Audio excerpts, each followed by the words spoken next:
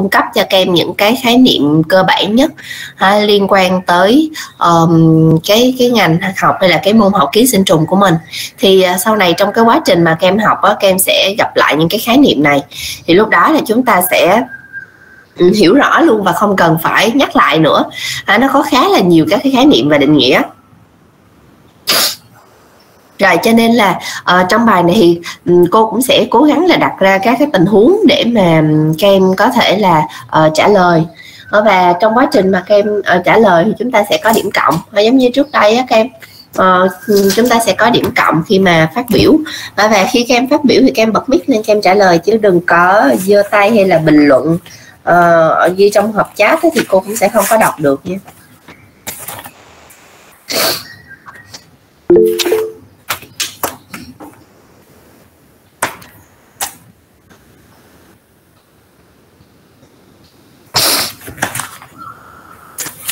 Rồi chúng ta bắt đầu nha các em.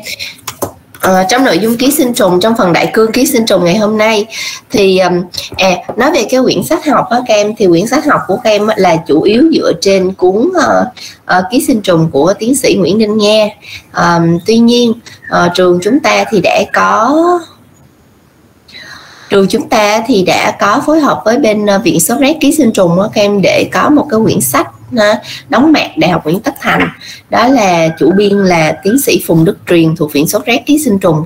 Thì ở đây nó sẽ có một số cái điều chỉnh cũng như cập nhật thêm về các cái số liệu so với um, cái quyển sách uh, version của cô nghe. Uh, tuy nhiên là hiện tại thì thư viện người ta chưa có kịp để mà uh, chuyển tải nó thành file PDF để cô chia sẻ với các em. Ở cho nên là trong vòng khoảng tuần sau thì người ta nói là 7 ngày là khoảng tuần sau là sẽ có cái quyển sách đó cho mình. Ở dưới dạng file PDF thì cô sẽ chia sẻ thêm cho các em. Về nội dung thì thật ra nó cũng không có khác nhiều lắm. À, nó cũng không khác nhiều lắm. Cho nên hiện tại cô sẽ uh, upload cho các em cuốn giáo trình ký sinh trùng của uh, tiến sĩ Nguyễn Đình Nha trước cho mình. Đó, để ở nhà các em có tài liệu các em học rồi, bây giờ trong phần đại cương ký sinh trùng thì chúng ta sẽ đi vào những cái nội dung gì? À, ký sinh trùng đại cương á, à, xin lỗi, ký sinh trùng á các em là cái môn học nói về những cái sinh vật mà có à, sống ký sinh trên những cái sinh vật khác để mà ờ, thu nhận chất dinh dưỡng để sinh trưởng và để phát triển. Như vậy thì uh, thật ra các em đối với nhiều các cái tài liệu nước ngoài thì ký sinh trùng học nó được tích hợp vào trong vi sinh luôn. Có nghĩa là với học phần vi sinh là nó sẽ bao hàm cả vi khuẩn virus cũng như là các cái ký sinh trùng.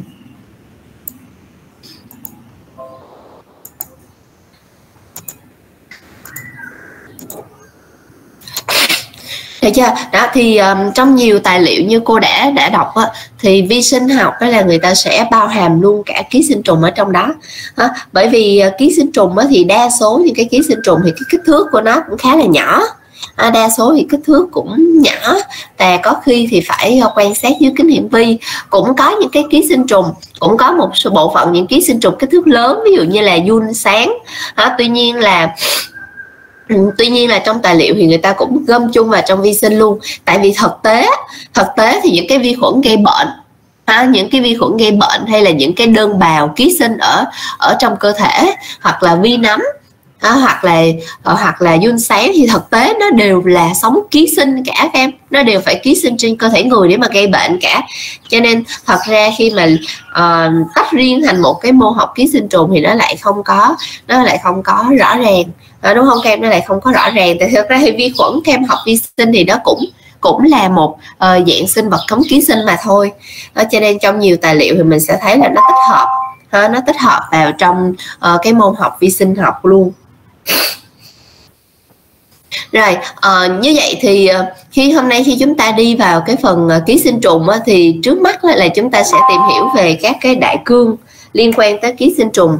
Và um, bây giờ chúng ta sẽ phân tích cái sơ đồ ha, cái sơ đồ ký sinh uh, cái sơ đồ ở trên slide. Và chúng ta mình sẽ có một số câu hỏi nha các em.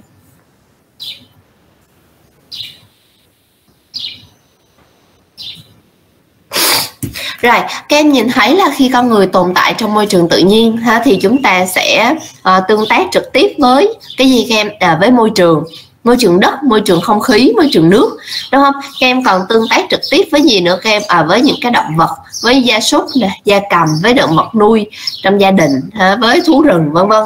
Rồi các em còn cái gì nữa? Các em còn có thể tương tác trực tiếp với những cái mầm bệnh ký sinh trùng nữa. À, như vậy thì bây giờ chúng ta sẽ tìm hiểu coi chúng ta có khả năng bị nhiễm ký sinh trùng qua những con đường nào để chưa? Thứ nhất là con người có thể là sao mang trực tiếp các cái mầm ký sinh trùng trên cơ thể mình. Ha, ví dụ như bản thân trong cơ thể kem là có thể là kem uh, đang có những cái vi nấm ở trên da.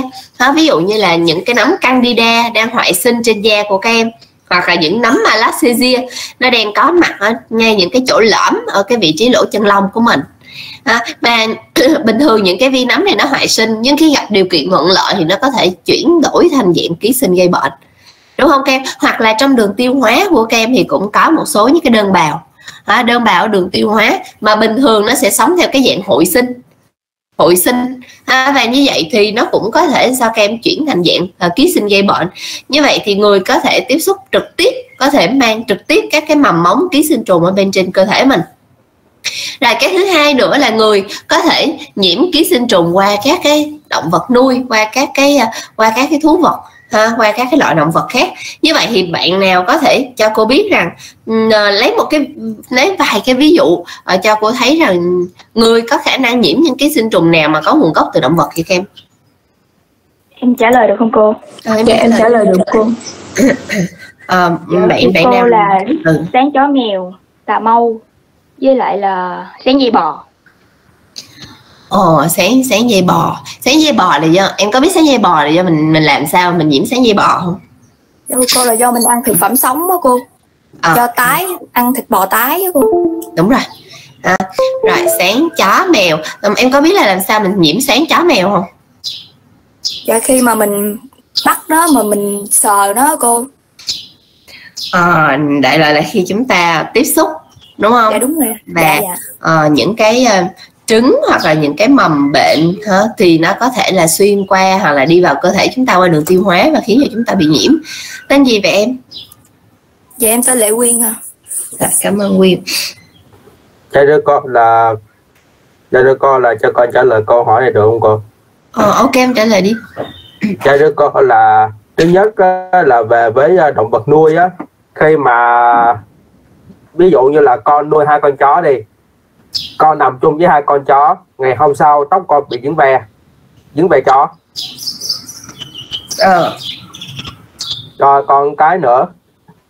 Rồi còn cái nữa là khi mà còn cái nữa là khi mà con uh, khi mà con nuôi heo hoặc là nuôi bò hoặc là nuôi mấy động vật á thì uh, vô tình là chứng phân.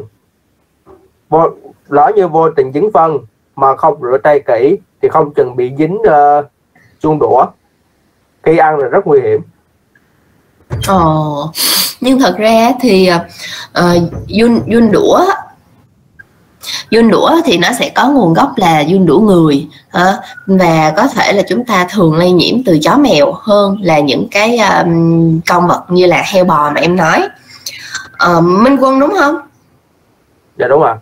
Rồi à, bây giờ cô sẽ phân tích lại những cái mà các bạn mình vừa nói. Thì uh, các em thấy là con người có khả năng là các cái ký sinh trùng này nè các em nó có khả năng là đi qua đi theo um, các cái động vật nuôi có nguồn gốc từ động vật ha, hoặc là các cái thú nuôi và lây nhiễm vào trong cơ thể người ví dụ như hồi nãy một bạn có nói là về ăn thịt nấu không kỹ đúng nếu các em ăn uh, cá nè ăn heo ăn bò mà các em nấu không kỹ nướng không chín hẳn thì các em có thể vô tình mang vào người là sáng dây sáng dây heo bò hoặc là sáng dây cá ha. hoặc là nếu mà các em ôm ấp những cái uh, con vật ví dụ như là uh, chó mèo thì các em có thể là nhiễm ờ, uh, giun đũa. Giun đũa chó mèo hả? hoặc là các em có thể làm gì nữa? Ờ, hồi nãy một bạn nói là khi chó mèo bị nấm á, mà bạn dùng từ là xà mâu á, thì khi mà các em tiếp xúc với những cái vết tổn thương nhiễm nấm đó thì các em cũng có khả năng là bị nhiễm nấm da trên cơ thể mà có nguồn gốc từ động vật à, có nguồn gốc từ chó mèo ví dụ như nấm um, Microsporum canis. Đây là một cái nấm mà nó ưa thích nấm ưa thú ha, là và nó ký sinh ờ, đặc hiệu trên cơ thể mèo nhưng có thể lây lan sang cho người và gây các cái bệnh nấm da ở người. Đó. Rồi ờ, hoặc như bạn ờ, có nói là khi mà chúng ta ngủ chung với chó mèo ôm ấp hôn hiếp nó thì rất có thể là chúng ta cũng sẽ bị nhiễm cái gì kem à, bỏ chết nè ở ve nè đúng không kem à, ờ, từ chó mèo và nó có thể là nó cũng hút máu mình. À, như vậy thì ờ, à, kem thấy là qua các cái động vật nuôi hoặc là qua các cái thú vật hoặc thậm chí là ở thú rừng cũng có thể lan truyền các cái mầm bệnh như mầm bệnh là giun xoắn à, thì chúng ta có khả năng bị nhiễm ký sinh trùng gián tiếp thông qua các cái động vật đó. và các em biết cái tỷ lệ nhiễm ký sinh trùng á, mà theo ba con đường thứ nhất là trực tiếp trên cơ thể người thứ hai là qua động vật và thứ ba là qua môi trường thì cái nguồn gốc từ động vật nó lại chiếm một cái tỷ lệ khá là lớn. Và nó liên quan tới nguồn thực phẩm cũng như là tiếp xúc giữa người và các cái động vật. Và các em biết là kể cả nãy giờ chúng ta kể là gia súc đúng không? Nhưng mà kể cả gia cầm. Đó, khi mà các em tiếp xúc với da cầm thì các em cũng có khả năng bị nhiễm uh, bị bị bị nhiễm ký sinh trùng. Ví dụ như là có những cái vi nấm mà nó lại uh, cư ngụ yêu ưa thích trên phân của da cầm. Và những người dọn chuồng trại hoặc là những người tiếp xúc hít phải những cái hạt bụi nhỏ từ phân da cầm thì cũng có khả năng bị nhiễm nấm phổi. Đó thì mình thấy là cái nguồn gốc ký sinh trùng từ động vật nó chiếm một cái tỷ lệ rất là lớn. Và cái thứ ba nữa là từ môi trường. À, thì các em thấy khi chúng ta tiếp xúc với môi trường đất môi trường nước ví dụ như chân không chúng ta dẫm lên những cái môi trường đất bùn đất ẩm đất xốp thì chúng ta có khả năng là bị uh, nhiễm các ấu trùng dung lương dung móc từ đất à, đúng không các em xuyên qua da chân của các em vào trong cơ thể và à, sống ký sinh. Hoặc là khi các em tiếp xúc với cái gì nữa à, khi các em tiếp xúc với à, không khí thì các em có thể hít phải bào tử nấm. Hoặc khi các em đi vào những cái nhà kho cũ khi các em đi vào rừng thì ve nó có thể rơi trên da các em và sau đó thì nó có thể hút máu. À, như vậy thì à, chúng ta sống trong môi trường tự nhiên và cũng giống như là đối với vi khuẩn cái môn vi sinh học với các em chúng ta thường xuyên tiếp xúc với vi sinh vật. Thì đối với ký sinh trùng là chúng ta cũng thường xuyên tiếp xúc với uh, ký sinh trùng thông qua nhiều con đường khác nhau. Trong đó thì cái con đường cái nguồn gốc mang ký sinh trùng vào trong cơ thể mình nhiều nhất có chiếm một cái tỷ lệ cao nhất cho đến thời điểm hiện nay. Đó là có nguồn gốc từ động vật có nguồn gốc từ uh, động vật gia súc gia cầm uh, động vật nuôi uh, thú cưng hoặc là có nguồn gốc từ những cái động vật hoang dã rồi và khi mà chúng ta biết cái điều đó thì chúng ta thấy là à, cái môn học ký sinh trùng học này ha cũng như là vi nấm học nó khá là quan trọng. Bởi vì nó sẽ cung cấp cho các em những cái kiến thức cần thiết để giúp cho mình có thể hiểu rõ hơn à, về bệnh nhiễm ký sinh trùng cũng như có được những cái biện pháp phòng ngừa. À, bây giờ thì chúng ta sẽ đi phân tích cái vấn đề thứ hai đó là bệnh ký sinh trùng ở Việt Nam nó có chiếm một cái tỷ lệ cao hay không? Thì câu trả lời là có em trước giải phóng năm 1945 tỷ lệ nhiễm ký sinh trùng ờ, ở, khu vực mà ờ, đồng bằng sông Hồng ở phía Bắc các em nó chiếm một cái tỷ lệ là hơn 60 60 70 phần trăm như một cái tỷ lệ rất là lớn. Còn ở cái khu vực đồng bằng ờ, đồng bằng có nghĩa là ở ở ở khu vực miền Nam của mình ha, à, đồng bằng sông Mekong thì các em sẽ thấy là nó sẽ có một cái tỷ lệ thấp hơn chút nhưng nó cũng khoảng 50 phần trăm. Và các em đừng uh, có nghĩ rằng à, nhiễm ký sinh trùng có phải là mang phải là mang một con giun một con sáng trong cơ thể? Không phải đâu. Ha, nhiễm ký sinh trùng ở đây chúng ta có thể là mang cái gì? À mang cái những cái đơn bào trong cơ thể đơn bào với kích thước hiển vi trong cơ thể mà khi nhiễm một cái số lượng thấp á, chúng ta thường chẳng có triệu chứng gì cả. Ha và như hiện tại thì các em ngồi uh, các em thấy là đang rất rất là khỏe mạnh nhưng biết đâu trong cơ thể chúng ta cũng có những cái ký sinh trùng. À, không nhất thiết nó phải là một cái con run con sáng. Nó có thể là những cái đơn bào kích thước nhỏ. Nó có thể là những cái tình trạng là nhiễm nấm ở dây dẫn mà không có kết thúc được. Thì nó cũng được xếp vào cái nhóm à, bệnh ký sinh trùng. Tại vì hiện nay thì vi nấm học người ta cũng đưa vào trong cái um, một số tài liệu thì người ta gom chung vào trong cái ký sinh trùng. À, nhưng mà như cô nói với kem thì nó thật ra nó đều là vi sinh vật mà thôi bây giờ chúng ta sẽ đi phân tích những cái yếu tố à, yếu tố nào khiến cho bệnh ký sinh trùng ở Việt Nam nó nó nó nó lại chiếm nó có một cái tỷ lệ lớn như vậy? Thì ở đây cô có liệt kê ra những cái yếu tố như là yếu tố về xã hội nè yếu tố về điều kiện sống nè à, yếu tố tự nhiên ví dụ như là thời tiết địa lý yếu tố thuộc về con người ví dụ như là phong tục địa phương hoặc là tập quán ăn uống. Vậy thì bạn nào thử? Phân tích cho cô khoảng 2 đến 3 uh, những cái yếu tố um, vừa liệt kê ở phía trên và kèm theo đó những cái ví dụ cụ thể cho các bạn khác cùng hiểu xem. Dạ thưa cô em xin trả lời ạ. Ok. Thưa cô đầu tiên là về phong tục địa phương thì em nghĩ là nhiều khi ở cái địa phương đó nó có một số món ăn như là tiết canh hoặc là thịt tái thịt sống đó cô.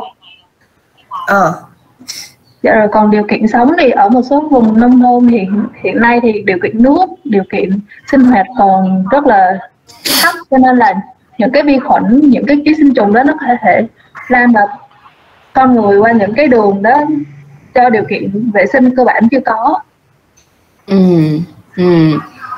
Ờ, cái hình ban đầu em nói là thuộc về tập quán ăn uống à, thuộc về tập quán ăn uống à. đúng không? Rồi à, em còn phân tích thêm được yếu tố nào nữa cho cô không? Ờ, tiếp nữa thì em nghĩ là thời tiết. Thì ừ.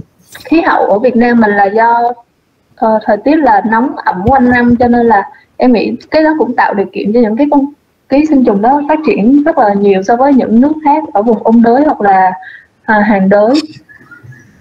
Ừ, chính xác chính xác. Em tên gì đó? Dạ em tên thu thịnh. Thu. Thu thịnh ạ. à, À ok cảm ơn thịnh. Rồi như vậy thì um, cô sẽ uh, phân tích lại ba cái ý mà bạn mình vừa nói ở trên. Uh, thứ nhất là về tập quán ăn uống đúng không các em về tập quán ăn uống. Thì cô muốn hỏi uh, thịnh một câu đó là uh, em nói là về tập quán ăn uống thì ăn sống ăn tiết canh nè.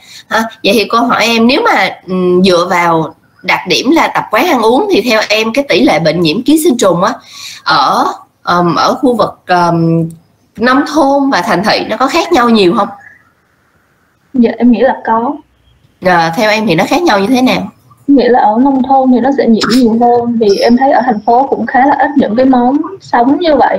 Em thấy ở nông thôn thì người ta thường hay ăn những cái món sống như vậy hơn ờ, ờ còn thôi được rồi. Theo theo cô thì nói về tập quán ăn uống á, em thì trước đây á, là nó sẽ có một cái tỷ lệ khá là cao trên lệch về bệnh nhiễm ký sinh trùng giữa nông thôn và thành thị.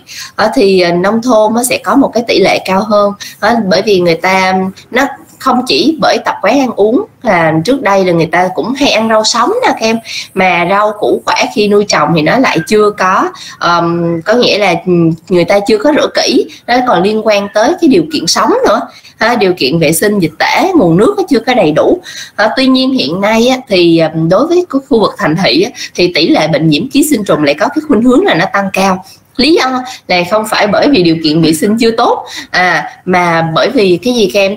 Bởi vì á, mình du nhập nhiều các cái món ăn ha các cái tập quán ăn uống từ các cái nước khác về. Ví dụ như là chúng ta lại có khuynh hướng là ăn cá sống nè đúng không kem tôm sống nè rồi ăn cái gì nữa? À, chúng ta lại nướng thịt mà nướng chưa kỹ nè và như vậy thì nó lại khiến cho tỷ lệ một số các cái bệnh nhiễm sáng dây cá à, hoặc là sáng dây có nguồn gốc từ động vật á, nó tăng cao. Còn ở nông thôn hiện nay thì điều kiện vệ sinh y tế cũng như là công tác tuyên truyền phòng chống dịch bệnh nó đã rất là tốt rồi.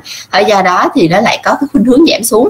À, cho nên hiện nay nói về tập quán ăn uống thì thật ra nó không có sự khác biệt rõ ràng giữa các vùng miền.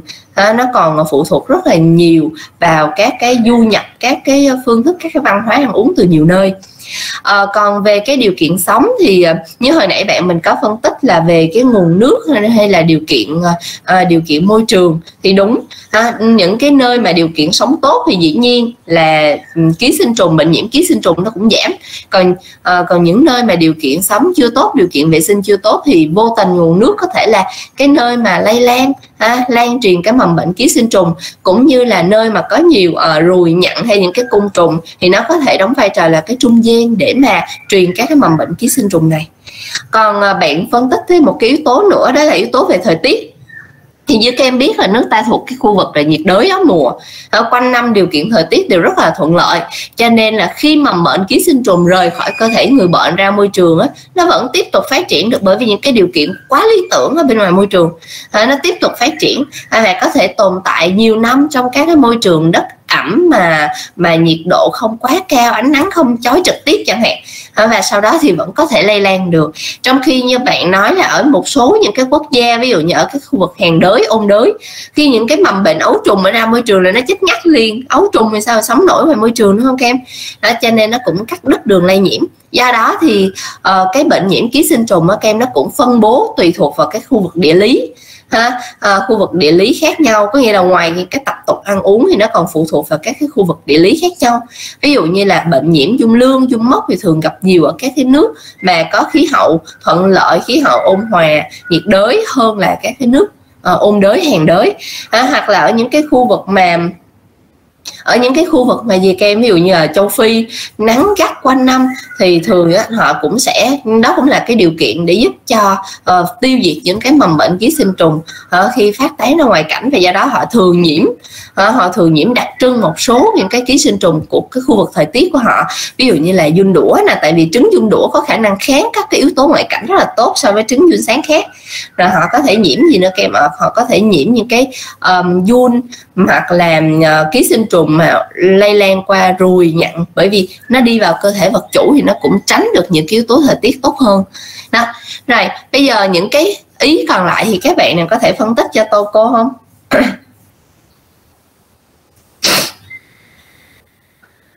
Ví dụ như là về địa lý nè về phong tục nè về yếu tố xã hội nè. Em ừ, phân tích về phong tục địa phương với địa lý à ừ, ừ. phong tục địa phương thì em thấy là có nhiều nơi mà người ta bón phân cho cây mà người ta chưa ủ cô. Là cũng có ừ. thể là có những cái là nguyên nhân làm bị nhiễm ký sinh trùng. Còn địa lý thì em thấy thì uh, nước ta là thuộc kiểu uh, kiểu như sông nó nhiều á cô. Ừ. sông rồi nó nhiều á nên là nó sẽ làm tăng cái khả năng lây ký sinh trùng. Ờ ờ ờ câu hỏi nè um, em nói là về ủ phân ủ vậy thì theo em là phân phải làm sao để loại bỏ mầm bệnh ký sinh trùng trước khi bón?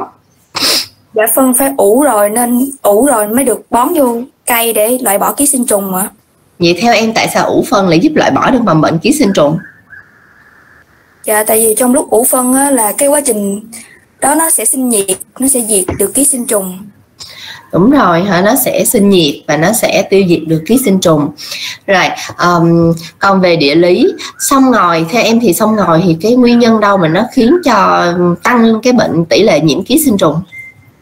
Dạ cô là theo em nghĩ là nếu mà người bệnh hay là ừ, người bệnh hay là cái gì đó mà kiểu như bị nhiễm ký sinh trùng á mà nó làm lây á cô kiểu như mình nhúng ta à, nó đi theo cái nguồn nước cái đường cái nguồn nước đúng không dạ, dạ. rồi à, ok em tên gì đó dạ em tên lệ quyên ạ à. À, cảm ơn Nguyên. Như vậy thì bạn phân tích về yếu tố địa lý thì các em thấy là Việt Nam mình có cái điều kiện địa lý cũng rất là đa dạng đúng không? À, có đồng bằng nè, có rừng nè, rồi có hệ thống sông ngòi rất là phát triển nữa. Cho nên nó sẽ giống như bạn nói là nó sẽ tạo điều kiện khi mà ở những cái vùng nào mà người ta không xử lý tốt nguồn phân thì nước có thể là một cái yếu tố để mà mang các cái mầm bệnh ký sinh trùng đi từ khu vực này sang khu vực khác. Cũng như là hệ thống sông ngòi này nó sẽ phát triển cái gì kem? À, nó sẽ là điều kiện thuận lợi để phát triển các cái giống mũi. À, và mũi khi mà đốt đốt chúng ta thì lại có cái khả năng lan truyền một số những cái mầm bệnh. Ví dụ như là kem thấy như là sốt rét nè sốt xuất huyết nè đó đúng chưa cũng có nguồn gốc từ mũi hoặc là bệnh dương chỉ. Đó, cũng có nguồn gốc là do mũi đốt.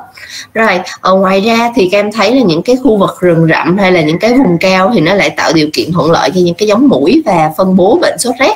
Và Việt Nam mình là một trong những cái khu vực mà bị có nghĩa là một trong những cái khu vực dịch tễ quan trọng của bệnh sốt rét Đông Nam Á. À, châu Á Đông Nam Á và trong đó có Việt Nam mình là một cái khu vực dịch tễ rất là quan trọng mà phân bố ký sinh trùng sốt rét các em rồi còn về yếu tố phong tục thì bạn à, có nói là ví dụ như bạn lấy cái lý do bạn lấy một cái ví dụ là ủ phân à, thì đúng là nếu mà chúng ta sử dụng những cái phân xanh phân tươi để mà bón rau á các em thì rất là nhiều mầm bệnh ký sinh trùng ở trong đó mà chúng ta không thể kiểm soát hết được. Cho nên thông thường người ta sẽ trải qua cái quá trình ủ việc ủ sẽ giúp cho chúng ta sao các em à, à, nó sẽ tạo ra những cái nhiệt độ cao và giúp loại bỏ những cái mầm bệnh hay là trứng um, giun sáng hoặc là mầm bệnh ký sinh trùng. Và như vậy thì sẽ uh, chúng ta không có thể nào mà mà nhiễm bệnh được nếu mà sử dụng phân đã qua quá trình ủ lâu lâu ngày rồi. Được chưa? Rồi à, tiếp theo nữa là những cái yếu tố liên quan tới à, xã hội Ờ, như là cái ờ, cái ý thức của con người ờ, trong cái việc phòng chống hay là tìm hiểu về bệnh ký sinh trùng và phòng chống các cái bệnh ký sinh trùng. Nói chung là nãy giờ là chúng ta đã phân tích được khá là nhiều các cái yếu tố và các em thấy là tất cả những cái yếu tố đó là nó tạo điều kiện thuận lợi cho việc ký sinh trùng lây lan phát tán cũng như là um, gây bệnh rất là nhiều ở Việt Nam mình hiện nay. Được ha? Vậy thì theo các em chúng ta có thể thay đổi được những cái yếu tố nào ở trên này để mà chúng ta phòng ngừa bệnh ký sinh trùng?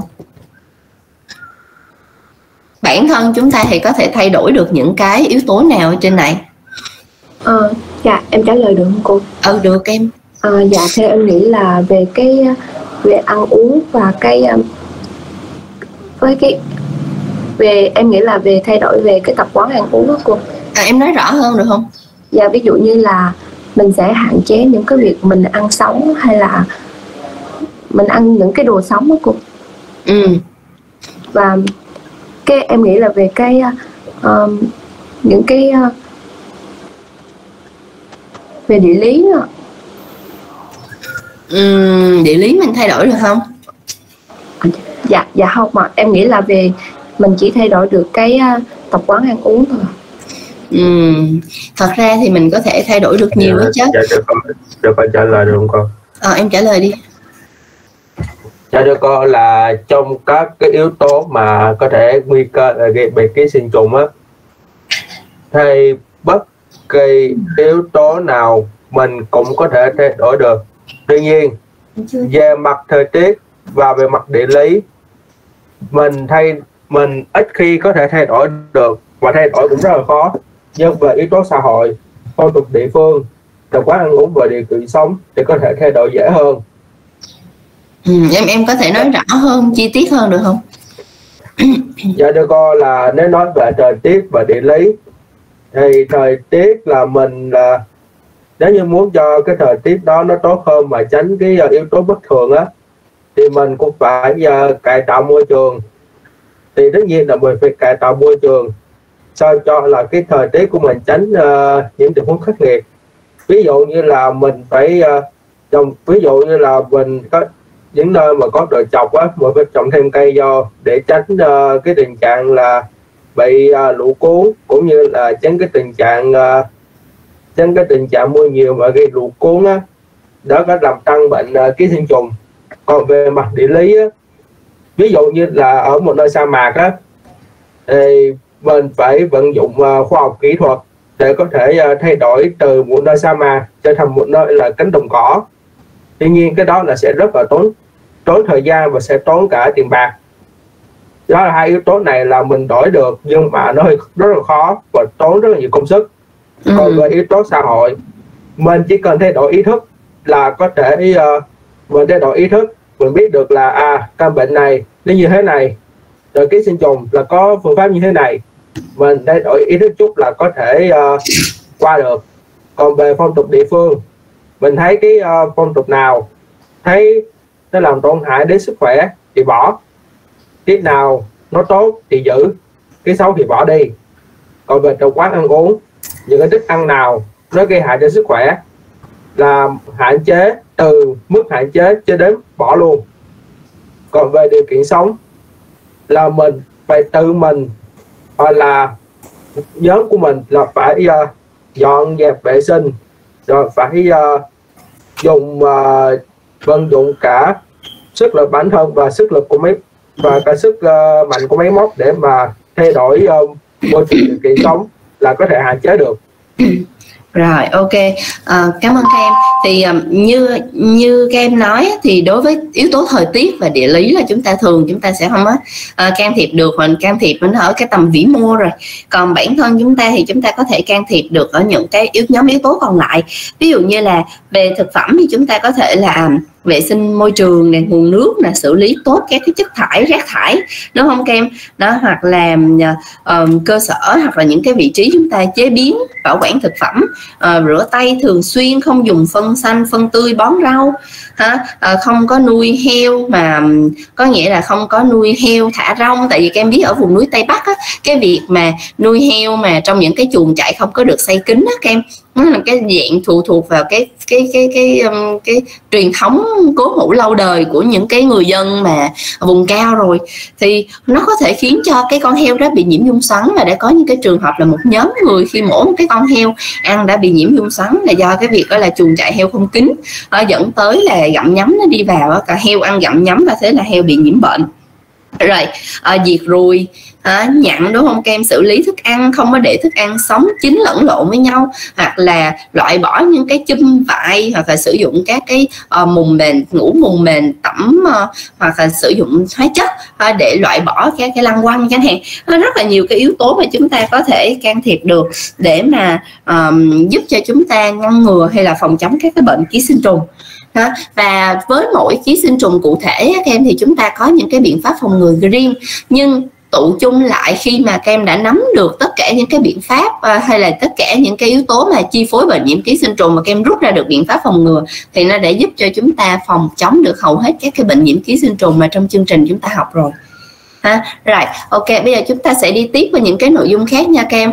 À, về cái danh pháp ký sinh trùng á các em thì tên ký sinh trùng sẽ được chia làm hai cụm. Thứ nhất là tên chi hoặc là tên giống và thứ hai là tên loài. Ví dụ như Ascaris lumbricoides là tên của giun đũa dưa nửa người. Hả? Thì um, giống Ascaris và loài là Lumbricoides ông Linne tìm ra năm 1758 à, thì đó là đặc điểm của tên gọi ký sinh trùng. Nó tương tự như tên gọi vi sinh vật hay là tên khoa học của một cái loài thực vật hay là thảo dược hồi đó thôi đúng không các em rồi bây giờ tiếp theo chúng ta sẽ đi vào các cái mối liên hệ trong tự nhiên. Ừ, cái này các em cũng học ở vi sinh rồi cho nên cô nghĩ là không có vấn đề gì khó khăn với mình hết trơn á mà cô chỉ đặt câu hỏi mà thôi ok ha. Bây giờ bạn nào có thể cho cô biết thế nào là cộng sinh hội sinh ký sinh và hoại sinh? Ờ. à. em nha cô. Dạ, em trả lời được cô. ok ok một bạn nào đó một bạn nào lên tiếng dạ. trước. Dạ em nha cô. À, ưu tiên cho bạn nào chưa dạ. trả lời nha. Dạ hồi nãy dạ, em trả lời bị sai. dạ em chưa trả lời. Ok ờ, bạn chưa trả lời em trả lời đi. Dạ em trả lời nha cô. Ừ, ừ, ừ nói đi nói đi. À vậy em sẽ thứ nhất là em sẽ nói về cộng sinh thì cộng sinh là giống như là nó phải có sự sống chung bắt buộc cùng nhau đó cô và và cả hai cùng có lợi. Ừ. Dạ. À, còn hội sinh á là giống như là à, hai khi mà hai thằng nó sống chung á thì một bên có lợi à, và một bên á thì nó không có không không có lợi cũng không có hại tức là không có bị ảnh hưởng gì hết đó cô. Ừ. Dạ. Còn ký sinh á là một thằng có lợi một thằng thằng kia thì bị hại. Giống như là nó sẽ sẽ ký sinh sống bám bên người khác giống như là vi khuẩn ký sinh trong cơ thể người. Đó cô? Ừ, ừ, ừ, dạ. à, còn hoại sinh thì à, thì giống định nghĩa là sống trong thiên nhiên sử dụng cái chất hữu cơ để uh, phát triển chất hữu em... cơ hoặc chất bã. Ok em cho cô một cái ví dụ về hoại sinh được không? Ví dụ hoại sinh đó cô. Ừ hoại sinh mà trong thiên nhiên. Em biết à, nhiều mà đúng không? à, HIV được không cô? HIV no, nó không phải là hoại sinh. À, à. em coi. À cái vi khuẩn ở trong hoặc ký sinh trong à, rễ. Rễ cây á cô? Hoại sinh trong rễ cây. Ừ. không luôn. Đó không không gọi là hoại sinh em trả lời được không con Ủa được từ từ từ bạn đang trả lời em. À, ok thôi được rồi. Em tên gì vậy bé? Dạ thu an. Ok. Uhm, em trả lời những cái khái niệm thì đúng nhưng mà uh, mình phải hiểu rõ hoại sinh là như thế nào. Cộng sinh là bạn nói rồi cho nên cô sẽ không có nhắc lại nữa nha các em. Ha à, ở đây cô sẽ lấy một cái ví dụ về cộng sinh nè. Ở đây là cộng sinh là trùng roi sống trong ruột muối. Các em biết là muối ăn gỗ. Nhưng mà có một cái vấn đề đó là ruột muối lại không có enzyme tiêu hóa cái cellulose một loại carbohydrate cực kỳ khó tiêu hóa ở trong gỗ. À, mà nhờ có trùng roi sống trong ruột muối tiết ra enzyme giúp muối tiêu hóa được cellulose và bản thân trùng roi thì nó lại có nơi nó ở và có nguồn thức ăn dồi dào được nạp vào mỗi ngày. Đúng không các em cho nên là hai bên đều có lợi và lưu ý cho cô. Đây là mối liên hệ có tính chất à, mối liên hệ có tính chất bắt buộc. Khi các em tách rời hai cái sinh vật này ra thì cả hai đều có thể là không thể phát triển tiếp tục được nữa. Còn hội sinh là một bên có lợi một bên không. Ví dụ như anta coli trong ruột già. Trong đường ruột của các em có thể có cái đơn bào này nhưng mà bình thường thì nó cũng chỉ có ăn những cái chất nhầy hoặc là tương tác với hệ vi sinh vật ở đường tiêu hóa.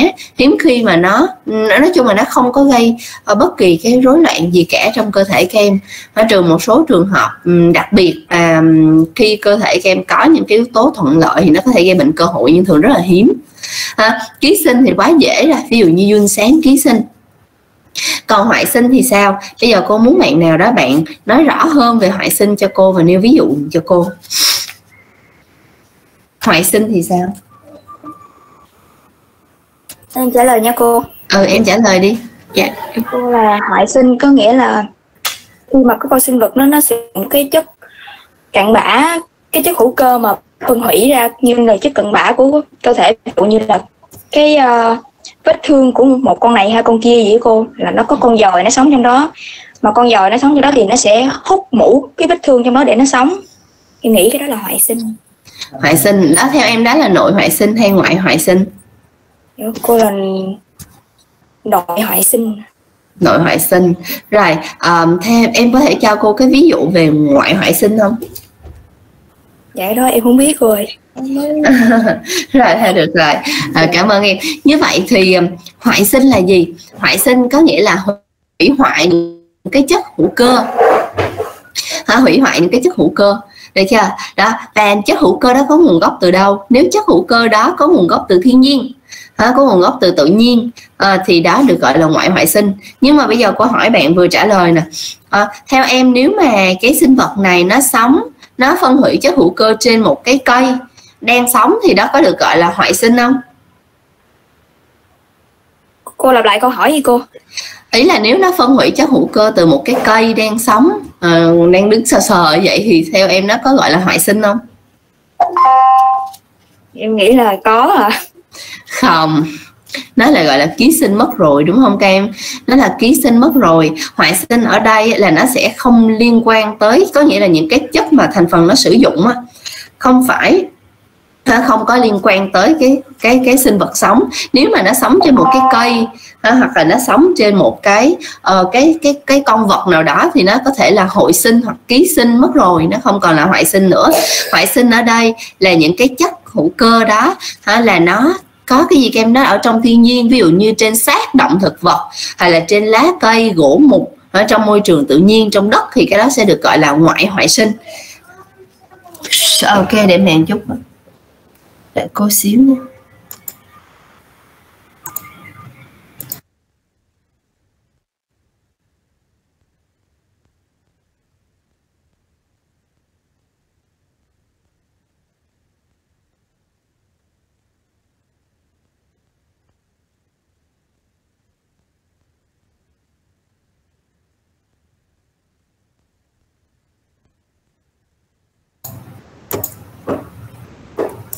Rồi ừ, còn đối với trường hợp ví dụ như các em có thể thấy cái ví dụ như là uh, vi nấm chẳng hạn như đây mình sẽ thấy một cái ví dụ đó là vi nấm aspergillus đó các em nó sẽ ký sinh ở đâu? À xin lỗi nó sẽ hoại sinh ở?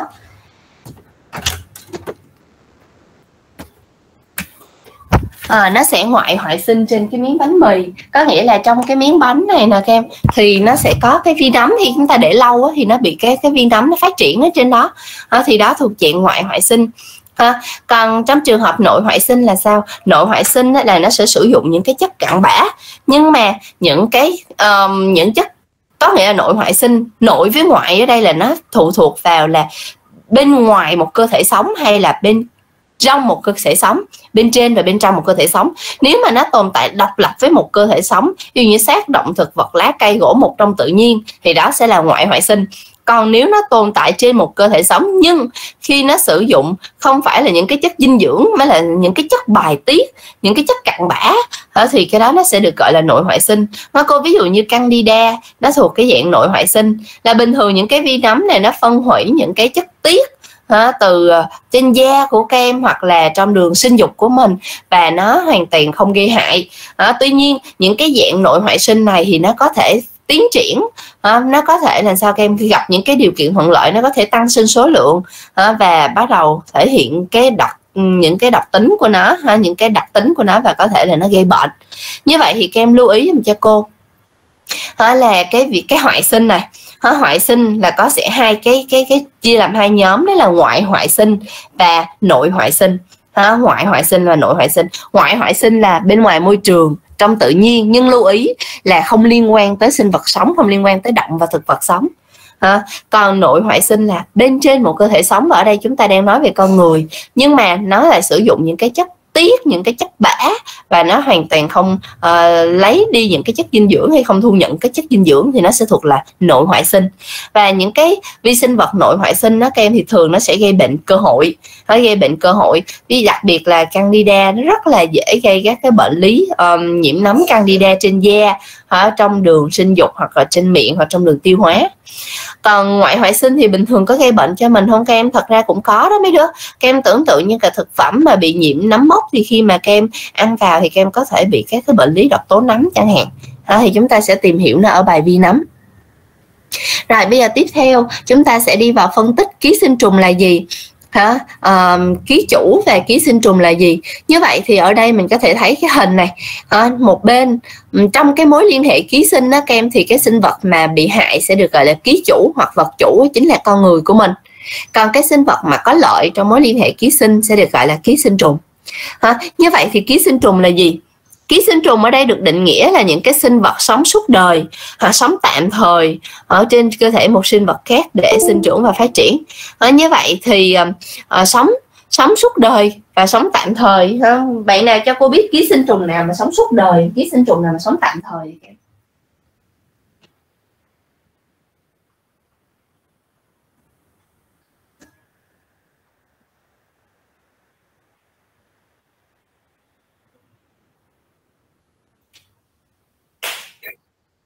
không có hai em nha cô. Dạ.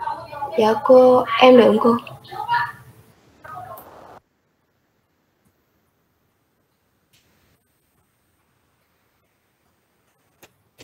Nói lại cô đi bé. Em nói. Em được cô? Ừ em nói đi. Dạ cô là em nghĩ là ký sinh trùng sống vĩnh viễn trong con người trong cơ thể con người là à, ví dụ như là dung đũa ký sinh trong ruột non của người cô. Ừ còn ký sinh trùng sống tạm thời là ví dụ như là mũi nó hút máu mình nó cô nó tạm thời kiểu nó cần nó mới tới mình đó cô. Ờ ok. Tên gì vậy bé? Dạ em tên Nguyễn Thị Cẩm Ly. Cẩm Ly cảm ơn Ly. Dạ em cảm ơn cô rồi như vậy thì um, mình thấy là sống suốt đời thì nó khá là nhiều đúng không? Kem là những cái sinh vật mà nó sống ở những cái mô sâu trong cơ thể đó là những cái sinh vật mà sống suốt đời ví dụ như là giun sáng ký sinh. Còn sống tạm thời thì thường ở đây chúng ta sẽ đề cập tới là gì kem? À, ví dụ như là trường hợp mũi. Sống tạm thời có nghĩa là khi nó cần thức ăn thì nó bế tế nó lấy thức ăn và sau đó thì nó sẽ nhanh chóng rời đi. Những sinh vật sống tạm thời là chọn cái thời gian sống của nó sẽ tồn tại bên ngoài môi trường tự nhiên và nó chỉ tìm đến cơ thể người để tìm kiếm thức ăn khi uh, khi nó nó nó đói khi nó cần chất dinh dưỡng mà thôi. Bây giờ chúng ta sẽ đi vào phân loại ký sinh trùng.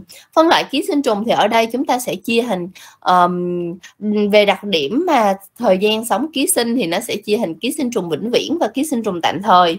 À, dựa vào đặc điểm về bệnh học thì sẽ chia thành ký sinh trùng truyền bệnh và ký sinh trùng gây bệnh và những cái này khá là dễ luôn. Và cô nghĩ là ừ, tự các em khi đọc sơ qua chắc là các em cũng hiểu. Bây giờ bạn nào sẽ giải thích những cái khái niệm này cho cô và đưa ví dụ nha các em?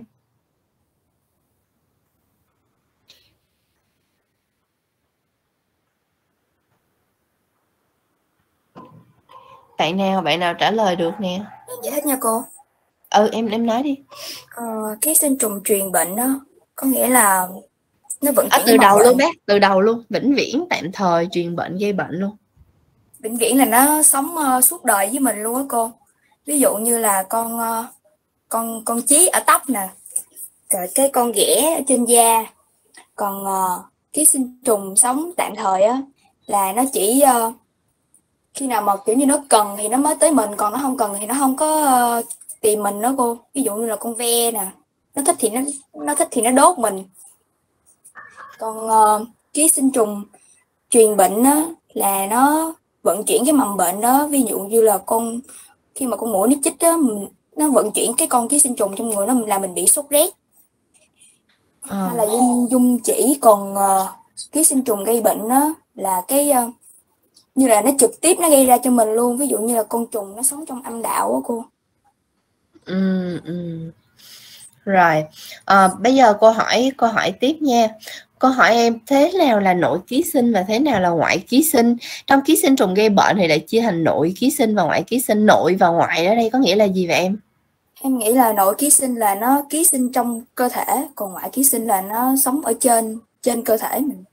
À, em ví dụ về nội ký sinh cho cô đi. Nội ký sinh?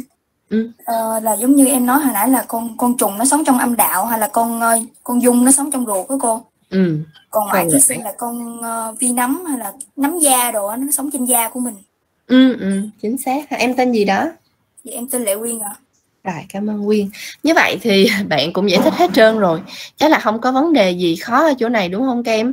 À, ký sinh trùng vĩnh viễn là sống suốt đời bên trên hoặc bên trong ký chủ và nếu rời khỏi cơ thể ký chủ thì nó cũng sẽ uh, không có thể tồn tại được. Ký sinh trùng tạm thời có nghĩa là nó sẽ uh, ký sinh trùng tạm thời thì nó chỉ cho nãy như mình nói trường hợp mũi thì chỉ đến cơ thể người khi cần thức ăn mà thôi. Còn truyền bệnh á, thì chúng ta sẽ thấy là nhiều giống mũi ha, nó sẽ đóng ký sinh trùng truyền bệnh câu hỏi ừ, câu hỏi thử nhé theo các em thì ký sinh trùng truyền bệnh thông thường á, nó sẽ là ký sinh trùng tạm thời hay là ký sinh trùng vĩnh viễn hay là cả hai? Thường á, ký sinh trùng truyền bệnh thì nó tạm thời nó là ừ, ký sinh tạm thời vĩnh viễn hay là cả hai? Um, thật ra kem đối với ký sinh trùng truyền bệnh ví dụ như là mũi đốt mình á, thì nó có thể là truyền các cái mầm bệnh đúng không kem đó thì mũi sẽ là ký sinh trùng vừa là ký sinh trùng tạm thời vừa đóng vai trò là truyền bệnh. Ở tuy nhiên cũng có những ký sinh trùng vĩnh viễn mà nó đóng nó cũng vận chuyển mầm bệnh vào trong cơ thể mình. À, ví dụ như là cái gì kem à, ví dụ như là uh, chí nè ở trên tóc nè ha? Ừ, khi mà nó đốt kem thì nó vẫn có thể truyền các cái mầm bệnh như là nhiễm truyền các cái mầm bệnh virus. Hay là khi ấu trùng dung móc á, kem nó từ trong môi trường đất nó xuyên qua da chân đi vào trong cơ thể các em thì trong cái quá trình mà xâm nhập vào trong cơ thể những cái vi khuẩn từ trong đất nó có thể mang theo và trong những cái um, tổn thương bên dưới da khi ấu trùng xuyên qua da và làm cho những cái vị trí đó nó sưng tấy nó mưng mủ chẳng hạn.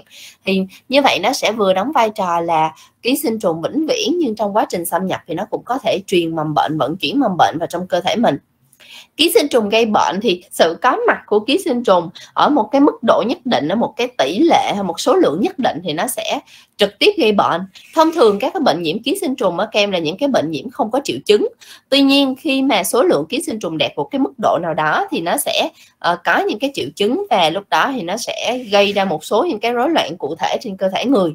Ở trong ký sinh trùng gây bệnh thì lại chia thành nội và ngoại ký sinh. Nội là ký sinh ở mô sâu sâu thật là sâu nha các em à, ví dụ như ở trong máu trong đường tiêu hóa còn ngoại ký sinh là nó sống trên da hoặc sống ở cái xoang. À, thí dụ như thí dụ như sống ở da um, là có nấm ở trên vi nấm trên da đúng không các em xoang xoang ở đây ví dụ như là xoang thông ra bên ngoài cơ thể ví dụ như là khoang miệng nè à, hoặc là hoặc là âm đạo nè nó cũng là thuộc về cái xoang rồi hoặc là những ký sinh trùng mà sống bên ngoài nhưng mà truyền bệnh thì nó cũng thuộc cái nhóm là uh, ngoại ký sinh. Đó, các em hình dung được ha? Rồi bây giờ chúng ta sẽ uh, như vậy bây giờ cô thử hỏi các em một câu nha. Ấy ví dụ như bây giờ cô lấy cái ví dụ là sáng dây heo uh, sáng dây heo hoặc là sáng dây cá sống ký sinh trong cơ thể người thì các em xếp nó coi nó thuộc cái nhóm ký sinh trùng nào theo phân loại vừa trên? Như phân loại trên đây thì nó sẽ thuộc cái nhóm nào sáng dây heo sáng dây heo uh, ký sinh trong cơ thể thì nó sẽ thuộc cái nhóm nào vĩnh viễn hay tạm thời truyền bệnh hay gây bệnh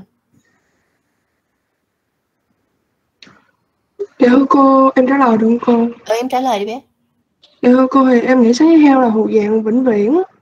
truyền ừ. bệnh và một nội ký sinh gây bệnh nội ký sinh. Rồi bây giờ vậy cô hỏi em nha. Ví dụ như trong trường hợp mà cái ghẻ đào hầm trên da làm cho mình ngứa ngáy mình sưng tấy mình khó chịu nè đúng không?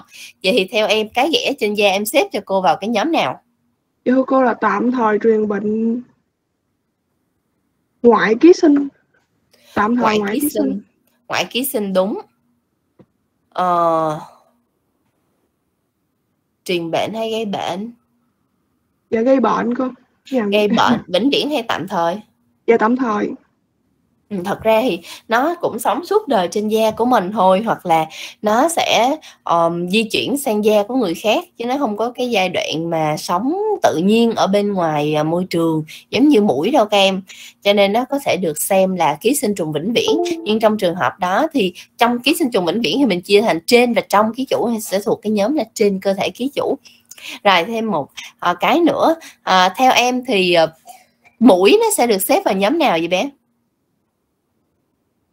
Mũi dạ thưa cô là em nghĩ là Vận chuyển trùng tạm thời truyền bệnh ừ. tạm thời truyền bệnh và gì nữa em? Nội hay ngoại ký sinh? Dạ ngoại ký sinh. Đúng rồi em tên gì đó? Dạ thanh thảo. Rồi, à, tên đầy đủ đi em tên em hay bị trùng dạ dạ nguyễn thị thanh thảo ok. Rồi như vậy thì đó là phân loại đầu tiên. À, cảm ơn các em. Bây giờ tiếp theo chúng ta sẽ ừ, về cái phân loại thứ hai. Chúng ta sẽ có những cái khái niệm là ký sinh trùng lạc chủ ký sinh trùng lạc chỗ hoặc là ký sinh trùng cơ hội. À, như vậy thì lạc chủ là sao mà lạc chỗ là sao và cơ hội là sao? Ký sinh trùng lạc chủ ha? À, thôi cái này cũng không phải là khó lắm. Thôi bây giờ các em trả lời luôn cho cô đi. Cái này nó đơn giản mà đúng không? Rồi bạn nào trả lời cho cô thế nào là ký sinh trùng lạc chủ alo tao mất hết rồi mấy đứa Cô em trả lời được không ạ? ừ em trả lời đi em. Dạ, thưa cô, ký sinh trùng lạc chủ là nhiễm qua ký chủ mới khác với ký chủ nó thường à, ký sinh do tiếp xúc với cô. giờ câu hỏi là ví dụ như ký sinh trùng từ từ một bạn nào đó nhiễm qua em thì có được gọi là lạc chủ không Dạ, dạ được. không Không ta? được không được. Rồi cô mời bạn khé Ừ, Dạ em trả lời được không cô? ok em trả lời đi. Dạ, à, dạ thưa cô là ký sinh trùng lạc chủ là nó giống như là nó đang ký sinh ở một loại cái vật chủ nhưng mà do cái con vật chủ này nó tiếp xúc với cái con vật chủ khác đó cô.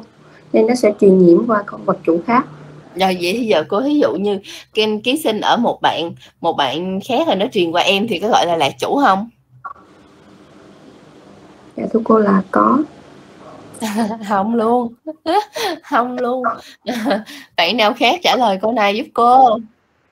Ừ rồi mời em. Khác ngoài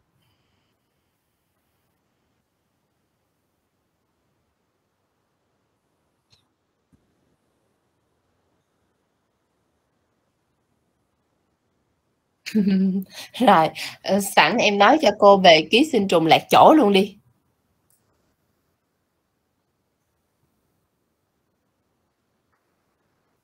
Ồ.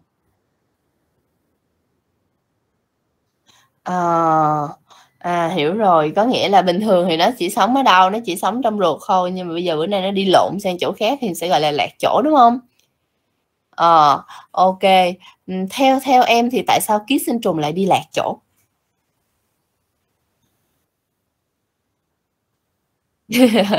Nó nó cũng tò mò giống các em vậy đó. Hả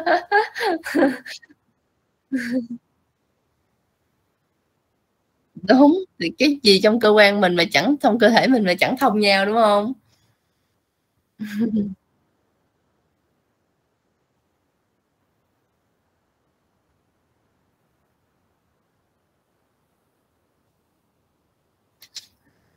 Ừm. Chính xác. Do nhu cầu về thức ăn và điều kiện sống thôi các em, chứ không có tò mò nữa nha, tên gì đó.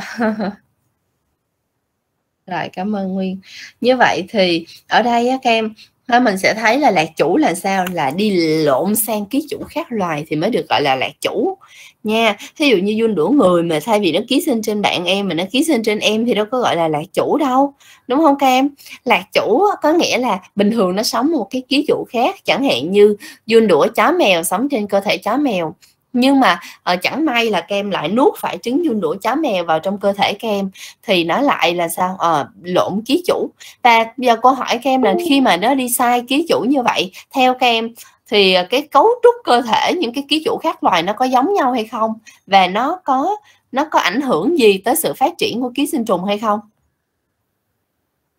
Nguyên em trả lời thử luôn đi ở khi mà nó đi lạc ký chủ thì theo em là nó sẽ cấu trúc cơ thể những cái ký chủ khác loài nó có giống nhau hay không?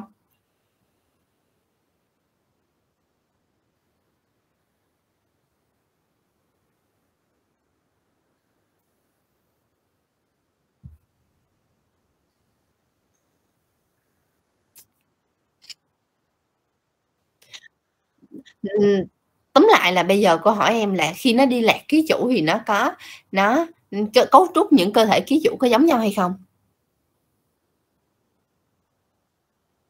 Không giống nhau. Rồi bây giờ câu hỏi em, khi mà nó không giống nhau thì như vậy là ký sinh trùng này nó có định vị được đến cái cơ quan mong muốn để nó phát triển thành ký sinh trùng trưởng thành không? Ý là nó có tìm được đường đi trong cơ thể của ký chủ mới đó để tìm đến được cái cái vị trí mà nó nó phát triển thành con trưởng thành được không?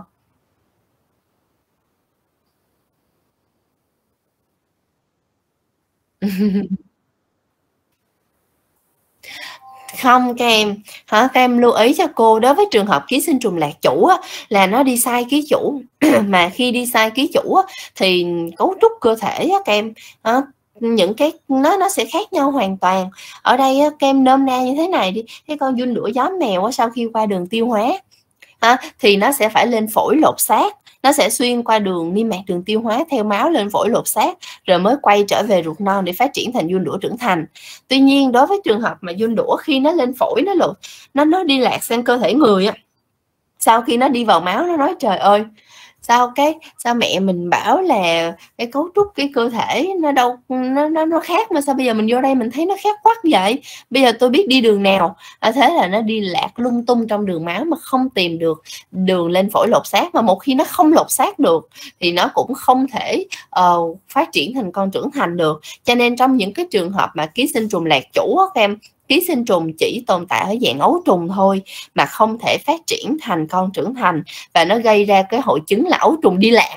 À, người ta hay gọi nói khoa học hơn là ấu trùng di chuyển trong cơ thể của ký sinh của của cái vật chủ à, vật chủ mà nó đi lạc à, hoặc như trường hợp của dun móc chó mèo nữa. Thay vì á, là dun móc sẽ xuyên qua da chân các em rồi đi vào máu rồi rồi rồi rồi đi đến cơ quan ký sinh đặc thù của nó.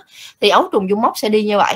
Nhưng khi các em dẫm phải cái ấu trùng dung móc chó thì sao? Sau khi nó luồn qua dưới da các em thì nó nói quái sao cái da này dày vậy? Ờ sao cái da này khó xuyên vậy? Thế làm sao các em? Nó không tìm được đường xuyên qua da vào hệ thống mạch máu. Bây giờ nó cứ đi ngoằn ngoèo lượn lờ dưới da như vậy và nó sẽ gây ra hội chứng ấu trùng di chuyển ở dưới da. Hả? Các em hình dung được ha? Hội chứng ấu trùng di chuyển dưới da. Đó, thì trong trường hợp ký sinh trùng lạc chủ, các em lưu ý là do sai cái cơ thể ký chủ do đi khác cái cơ thể ký chủ. Do đó thì ký sinh trùng sẽ không thể tìm được đúng đến, không thể định vị được đến cái cơ quan mà ký sinh trùng, cũng như không thể tìm được đường đi lột xác hoặc là đến đúng cái cơ quan để nó phát triển thành con trưởng thành mà nó chỉ tồn tại dạng ấu trùng và gây ra hội chứng ấu trùng di chuyển. Còn ký sinh trùng lạc chỗ là sao? Ký sinh trùng lạc chỗ là nó sẽ đi lạc cái cơ quan mà nó thường ký sinh ha, à, đi lạc sang cơ quan khác. Và cái yếu tố nào kích thích ký sinh trùng đi lạc chỗ thường là do cạnh tranh về thức ăn và môi trường sống đó các em. Thí dụ như một con giun đũa thì chẳng nó chẳng bao giờ phải đi đi đi thăm thú hay là đi phiêu lưu từ cơ quan này sang cơ quan khác. Nhưng khi mình vô 100 con giun đũa trưởng thành ở ruột non thì chắc chắn lại là vấn đề khác. Sự cạnh tranh về môi trường sống và chất dinh dưỡng sẽ khiến cho một số giun bỏ đi ha, và đi lạc sang những cơ quan khác gây ra ký ký sinh trùng lạc chỗ hình dung ha. Rồi còn ký sinh trùng cơ hội là ở đây nó chỉ những ký sinh trùng từ nội hoại sinh mà chuyển thành dạng gây bệnh, ví dụ như vi nấm, candida albicans bây giờ chúng ta sẽ nói về tính đặc hiệu về ký sinh. Ha, bây giờ cô hỏi các em nè, thế nào là đặc hiệu về ký chủ? Đặc hiệu về ký chủ nó trái nghĩa với ký sinh trùng lạc chủ. Như vậy, đặc hiệu về ký chủ có nghĩa là sao? Đặc hiệu về ký chủ nó trái nghĩa với lạc chủ như vậy theo các em đặc hiệu về ký chủ có nghĩa là sao ai trả lời được Em trả lời nha cô. ok ưu tiên cho những bạn chưa trả lời nha các em Dạ không ai thì em trả lời nha cô. ok Dạ. rồi thôi em trả lời đi bé Dạ em trả lời nha. Dạ là theo em hiểu á, là nếu mà nó ngược với ký sinh ngược với cái thằng bên kia á, là do là nó chỉ sống trên một loài nhất định rồi thôi cô. Một một. Ờ, như vậy ý em là bây giờ câu hỏi vậy thì đặc hiệu về ký chủ là sống đúng cái loại ký chủ bình thường của nó hay là sống khác? Hay là sống sống trên một cái ký chủ ờ, sai khác đi cái loại bình thường? Là chỉ là chỉ kiểu như nó chỉ đóng sống trên một ký chủ đúng của nó thôi á cô. ừ. đặc hiệu về ký chủ ở đây có nghĩa là sống đúng ký chủ Dạ. đặc thù của nó đúng không Dạ đúng rồi cô. còn trong trường hợp mà nó sống sai cái ký chủ nó ký sinh sai ký chủ thì nó sẽ được gọi là Lạc chủ. Rồi câu hỏi em bây giờ đặc hiệu về ký chủ người ta chia thành đặc hiệu rộng và đặc hiệu hẹp em hiểu như thế nào? Đặc hiệu về ký chủ rộng là sao và hẹp là sao? Theo em hiểu á, là nếu mà hẹp á, thì rất nghĩa là nó chỉ là có một thôi. Chỉ có một một một chỉ chỉ được một loài ký ký chủ thôi. Được ký chủ còn nếu mà rộng á, thì nó có thể à, à, ở nó ký chủ ở bất kỳ chỗ nào cũng được. Ờ, Bất kỳ ký À. chủ nào chứ cô. Ờ, rồi ok. Bây giờ bây giờ em nói tiếp luôn rồi cô sẽ chốt lại cái chỗ này. Ờ, đặc hiệu về nơi ký sinh có nghĩa là sao? Có nghĩa là nó có sống đúng nơi ký sinh thông thường của nó hay không? Dạ sống đúng một nơi ký sinh của nó luôn cô. Ví dụ như là vi khuẩn ở ruột thì nó chỉ sống ở ruột. Ừm, còn nếu mà ký sinh trùng mà lạc à, nếu mà nó sống không đúng nơi thì người ta gọi là gì? À, không không không không nếu mà không đúng nơi thì là lạc chỗ đi. Lạc chỗ Ờ, vậy thì đặc hiệu về nơi ký sinh rộng là sao và hẹp là sao em? Thì nó cũng giống như ở trên đó là nếu mà hẹp á là nó chỉ sống cho một cơ quan một ừ. cơ quan duy nhất thôi. Còn nếu mà rộng á, thì nó sẽ sống ở nhiều cơ quan khác nhau trên cơ thể của mình. Em tên gì đó? Dạ thu quan rồi cảm ơn em. Như vậy thì đặc hiệu về ký chủ có nghĩa là ký sinh trùng này đang sống đúng cái ký chủ đặc thù của nó. Còn trong trường hợp sống khác thì người ta đã gọi là lạc chủ rồi. Đặc hiệu về ký chủ hẹp có nghĩa là nó chỉ có thể ký sinh trên một loài nhất định. Ví dụ như giun đũa người thì chỉ ký sinh trên người giun đũa chó mèo thì chỉ ký sinh trên cơ thể chó mèo. Đặc hiệu về ký chủ mà rộng thì có nghĩa là nó có khả năng ký sinh trên nhiều loài ký chủ khác nhau. Và ở những loài ký chủ đó nó đều có thể phát triển uh, phát triển hoàn chỉnh phát triển trọn vẹn và thành con trưởng thành chẳng hạn. À, ví dụ như Toxoplasma hay con DI á, kem là một cái dạng um, ký sinh trùng có nguồn gốc từ mèo thì nó có thể là sống được ở người nè động vật nè à, chó mèo vật nuôi và thậm chí là cả gia súc cũng có thể nhiễm Toxoplasma hình dung được ha? Và trên cơ thể những cái loài động vật đó cũng như trên cơ thể người thì Toxoplasma đều phát triển uh, hoàn chỉnh đều phát triển trọn vẹn cái chu trình của nó. Có nghĩa là không gặp cái trở ngại gì cả còn trong trường hợp mà ký sinh lạc chủ thì lúc đó nó mới gặp trở ngại giống như nãy cô đã phân tích.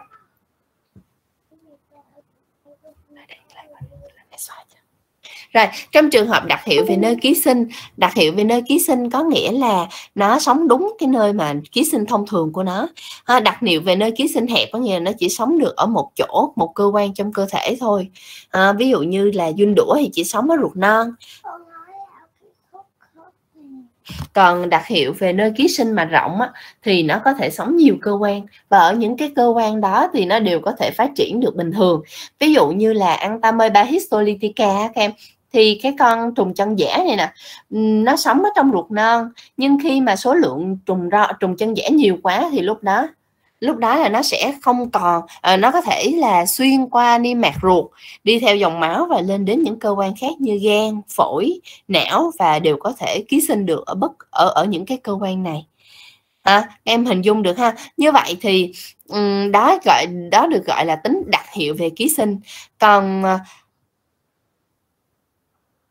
còn trái nghĩa với đặc hiệu về nơi ký sinh có nghĩa là sống sai không không có đúng nơi ký sinh ha trái nghĩa với cái trường hợp đó thì người ta sẽ gọi là ký sinh trùng lạc chỗ. Ha, ký sinh trùng lạc chỗ các em hình dung được nha. Rồi các em hình các em lưu ý cho cô ký sinh trùng lạc chỗ chỗ này cô phải nói nói thêm cho các em hiểu.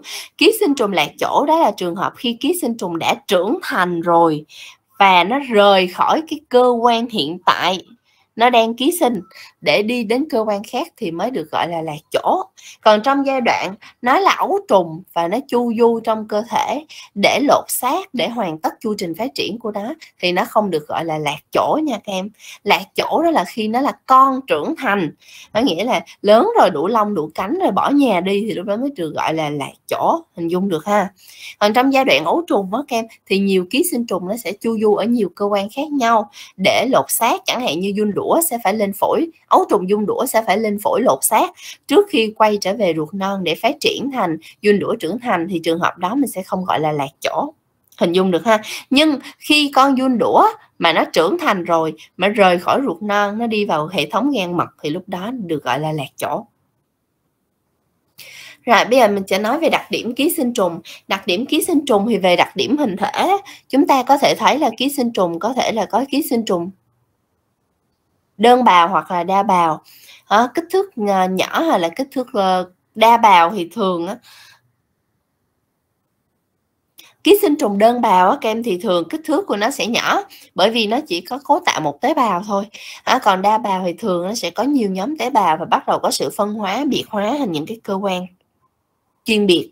Rồi về kích thước và hình dạng á, thì ký sinh trùng nó sẽ có cái kích thước um, ký sinh trùng nó sẽ có cái kích thước rất là đa dạng các em với nhóm đơn bào thì kích thước hiển vi à, có thể dao động từ khoảng vài đến vài chục micromet. Còn về hình dạng thì nó cũng rất là khác biệt. À, ví dụ như nó có thể hình chiếc lá trong sáng lá hình dây trong sáng dây hình à, hình cầu trong những cái bào nang đơn bào hoặc hình diều hình quả lê. Ôi rất là nhiều hình dạng khác nhau. Hình đối hình chiếc đũa đúng không các em hay là nhỏ xíu như cây kim trong trường hợp dương kim? Đó hay là cuộn xoắn lại như trong trường hợp dương xoắn hình dạng rất là thay đổi. Và kích thước có thể dao động từ vài micromet cho đến cả vài chục mét. Ví dụ như uh, sáng dây cá thì có thể dài đến kích thước tối đa là 20 mét.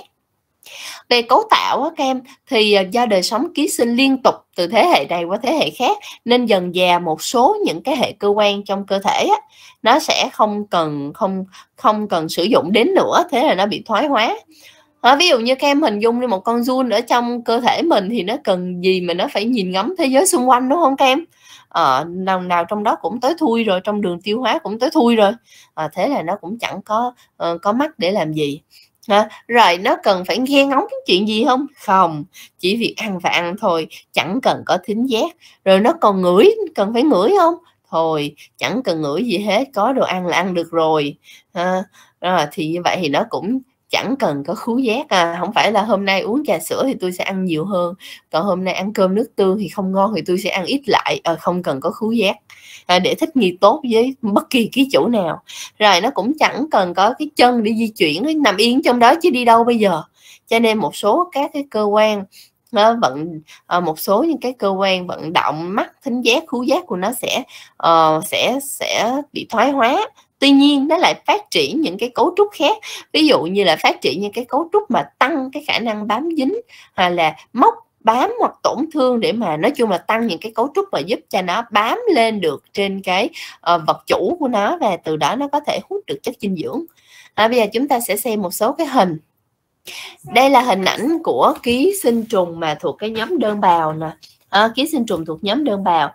Thì chúng ta có thể thấy là kích thước của nó khá là nhỏ đó, kích thước của nó khá là nhỏ. Đó và ví dụ như đây là trùng chân giả đây là trùng roi đây là trùng lông đúng không? Rồi còn đây là ký sinh trùng mà kích thước lớn hơn ví dụ như sáng lá gan thì nó sẽ cỡ một cái ngón tay cái của các em. Ở dun đũa thì có thể dài cỡ một gan một một một một cái gan tay của mình một chiếc đũa. Hay là sáng dây là thân dẹp và mỏng như cái sợi dây ri băng vậy đó đúng chưa? Đó rồi um, đây là một số những cái ký sinh trùng mà trong đời sống ký sinh của nó nó sẽ phát triển thêm những cái bộ phận ví dụ như phát triển những cái đĩa hút để nó hút bám vào thành ruột hay là phát triển những cái vòi hút sắc nhọn để có thể xuyên qua da và hút chất dinh dưỡng. Được chưa? Rồi một số hình ảnh nữa các em xem nè. Nó có những cái đĩa hút ở trùng roi sinh à, trùng roi tiêu hóa nè các em để giúp cho nó bám vào niêm mạc ruột. Hay nó có những cái móc và những cái đĩa hút ở cái đầu con sáng cái đầu bé tí đây nè khi phóng to lên thì nó ra như vậy. À, thì lúc đó là nó sẽ dùng cái đầu của nó nè để mà nó móc chặt vào thành ruột và hút chất dinh dưỡng.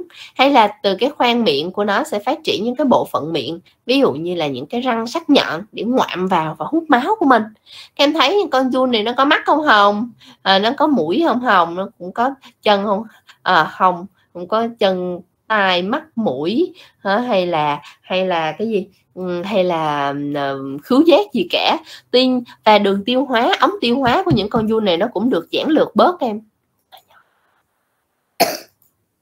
Con nói này mày đừng có nói ra lắm rồi và và đường tiêu hóa của những ký sinh trùng này thì thường nó cũng sẽ được giãn lược bớt. Hả? Bởi vì sao? Bởi vì nó hấp thu những cái chất dinh dưỡng mà đã được cơ thể chúng ta nghiền nát và tiêu hóa sẵn rồi, nó chỉ việc sao các em? Hấp thu thôi. Do đó thì nó sẽ không có hệ thống cơ quan tiêu hóa phức tạp.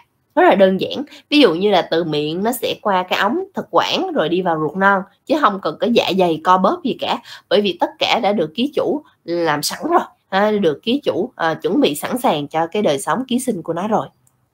Hay là đây là một số hình ảnh ví dụ như đây là Toxocara canis ha, hay còn gọi là giun đũa chó mèo. À, có đố các em nha đây là cái hình ảnh Toxocara canis này nè. Theo các em là mình uh, con hình ảnh con giun này là được phân lập từ cơ thể chó mèo hay là từ cơ thể người?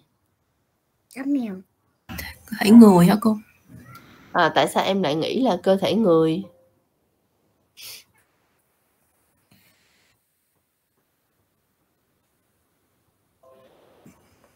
Ủa có một người à. Dạ tại vì nó vô trong cái cơ thể người nó mới phát triển được lên tới như vậy á.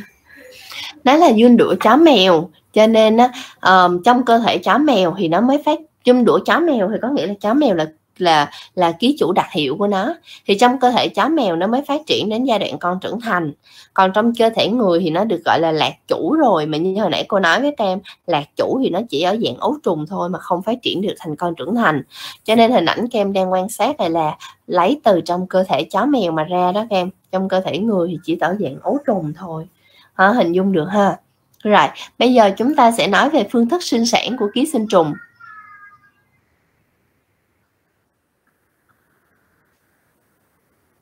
Thì con ra xem mẹ gọi cho ai. Về phương thức sinh sản của ký sinh trùng thì ký sinh trùng sinh sản rất là nhanh và rất là nhiều ha. Ờ, sinh sản sinh sản hữu tính. Um, nó sẽ có những cái phương thức sinh sản khác nhau như là sinh sản hữu tính vô tính và lưỡng tính ha. sinh sản hữu tính thì có nghĩa là nó sẽ cần có cá thể đực và cá thể cái ví dụ như cần có giun đũa giun đực và giun cái để thụ tinh cho nhau thì mới tạo thành trứng và tạo ra phôi còn sinh sản vô tính thì nó sẽ sinh sản theo có nghĩa là nó không có sự xuất hiện của phái tính. Ví dụ như là vi nấm sinh sản bằng hình thức nảy chồi từ những hạt men nó nảy ra những cái chồi nhỏ đó, rồi lại tiếp tục uh, tạo ra những cái chồi chồi khác. Và như vậy thì nó sẽ giúp cho vi nấm có thể nhân lên thành nhiều hạt men khác nhau. Hoặc là sinh sản bằng phương thức ngắt đôi ví dụ như là trùng trùng ờ, trùng roi á, kem thì nó sẽ nhân đôi giống như là trong trường hợp của vi khuẩn gì đó cắt đôi tế bào để tạo ra hai cái thể sống mới. Còn sinh sản lưỡng tính á, thì đây là một cái đặc trưng của của nhóm sáng nha các em. Sinh sản lưỡng tính có nghĩa là trong cùng một cá thể cái ký sinh trùng này nó vừa có cơ quan sinh dục đực và vừa có cơ quan sinh dục cái. Khi đến giai đoạn phát triển hoàn chỉnh á, thì cơ quan sinh dục đực có và cơ quan sinh dục cái đều hoàn đều phát triển hết rồi. Thế là nó sẽ thụ tinh cho nhau và cuối cùng là cái con sáng này có thể đẻ trứng được mà hoàn toàn không cần có uh, sự giao phối của một cái con sáng uh, khác. Ha, các em hình dung như vậy chỉ cần các em nhiễm một con sáng cũng có thể tạo ra rất là nhiều các cái mầm sống mới. Thì cái sinh sản đó người ta gọi là sinh sản lưỡng tính. Ví dụ như sáng lá sáng dây là sinh sản theo cái phương thức này. Rồi ký sinh trùng á các em mỗi ngày nó sinh sản rất là nhanh và rất là nhiều. À, mỗi ngày nó có thể thải hàng ngàn hàng chục ngàn hoặc là hàng ngàn hàng trăm ngàn trứng ra môi trường. À, và và uh, cái cái cái tốc độ phát triển của những cái ký sinh trùng cái số lượng nó thải ra các em rất là nhiều và cái tốc độ sinh sản của nó cũng là nhanh cực kỳ. Ví dụ như là chỉ cần khoảng um, uh, chỉ cần khoảng chưa đầy một tuần lễ thì một con jun jun jun gì nhỉ? Jun xoắn uh, lại có thể phát triển trưởng thành trong cơ thể một người mà nó mới nhiễm để bắt đầu cái giai đoạn sinh sản của nó. À, như vậy thì nói về cái việc mà sinh sản của ký sinh trùng á, thì um, cực kỳ cực kỳ cực kỳ nhanh và cực kỳ nhiều các em. Một con giun đũa trung bình một ngày có thể thải ra tối đa là 200.000 trứng. Cho nên nếu các em nhiễm đắm con giun đũa các em có thể thải ra một triệu trứng ra môi trường và nếu không xử lý tốt nguồn phân á các em thì với cái đặc điểm sinh sản như thế này nó sẽ khiến cho cái mầm bệnh phát tán rộng rãi trong môi trường và lây lan cho rất là nhiều những cái ký chủ khác. À, các em hình dung được ha?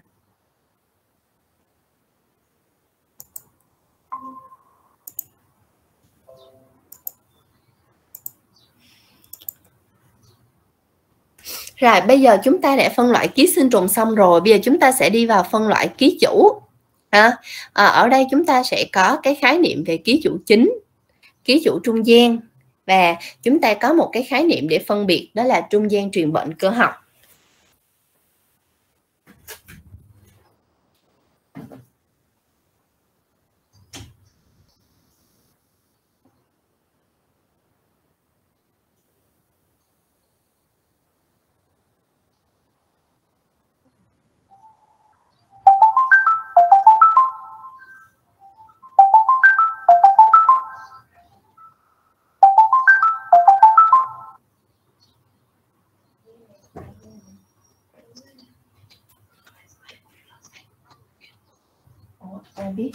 Nó đâu có hủy lớp, nó đâu có đâu có hủy lớp nào đâu ta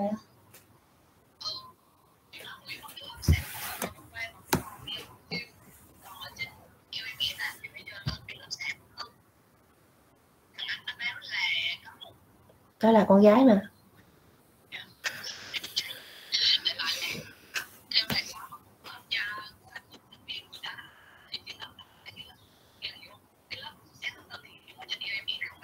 Ừ, ừ, ừ, ừ. thì ngược lại.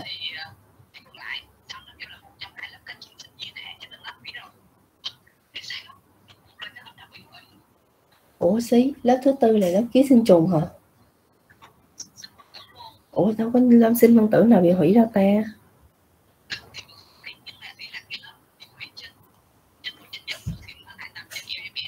Nói chung nó bị ngược lại.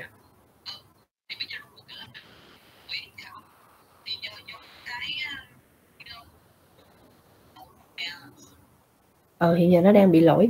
Ủa cái lớp ký sinh trùng á, thì hiện giờ có trên LCMS chưa? Mày mày vô trong đó mày coi được bao nhiêu sinh viên mà đúng không?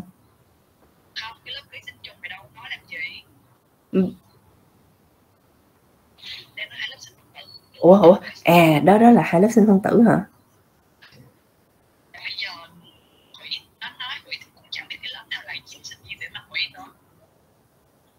Ủa sao kỳ vậy ta?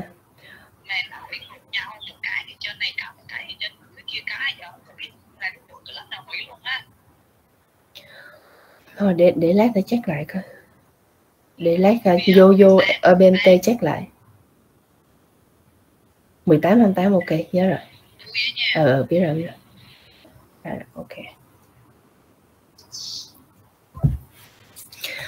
Rồi bây giờ về phân loại ký chủ nha các em. Hả, phân loại um, ký chủ thì chúng ta sẽ phân loại thành ký chủ chính, ký chủ trung gian và trung gian truyền bệnh cơ học. Thì ý nghĩa của việc phân loại ký chủ là để làm gì?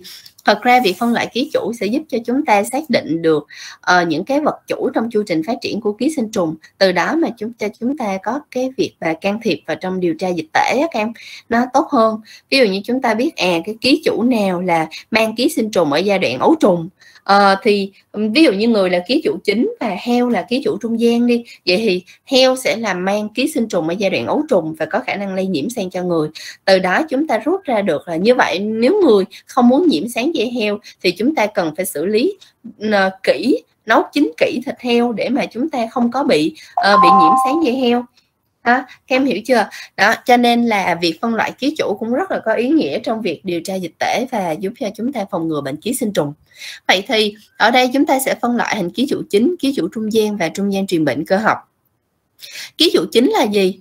Ký chủ chính là ký chủ mang ký sinh trùng ở giai đoạn trưởng thành hoặc có khả năng sinh sản hữu tính. Còn ký chủ trung gian là gì? Ký chủ trung gian là ký chủ mà mang ký sinh trùng. Ừ, ký chủ trung gian là gì? Là không phải ký chủ chính ha các em nhớ cho cô vậy. Có nghĩa là loại trừ ký chủ chính ra thì còn lại sẽ là ký chủ trung gian. Như vậy cô hỏi các em ở trong một chu trình phát triển, nếu có một ký chủ thì đó là ký chủ gì?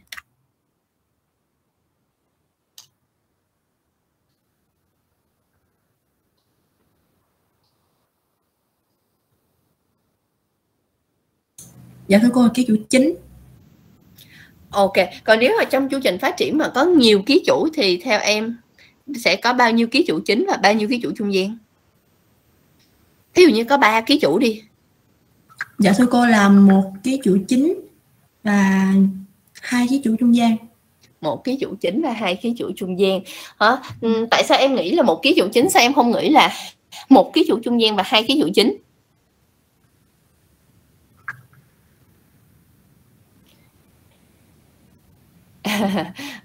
rồi thôi được rồi. Cảm ơn dạ, em. um, bạn trả lời bạn trả lời đúng á. À, ok em em nói gì? Dạ thưa con là theo con là nếu nói là ký chủ chính hay ký chủ trung gian thì cũng phải tùy loại. Ở đây Có mình đang định nghĩa chung ở đây mình đang định nghĩa chung đúng không? Rồi em nói tiếp dạ. đi. Cái đó có phải tùy loại ký sinh trùng nó là cái gì. Thông thường á là thông thường á, là sẽ có một dạng là thông thường sẽ có nhiều loại á, là mai chỉ có một ký chủ trung gian duy nhất và sẽ ghi ký sinh ở nhiều ký ở nhiều loại ký chủ chính nhưng cũng có nhưng cũng có trường hợp là có một ký chủ chính với lại nhiễm có hai uh, ký nhưng cũng có loại á, là nó nhiễm qua hai ký chủ trung gian rồi từ đó nó nhiễm chung với một ký chủ chính uhm.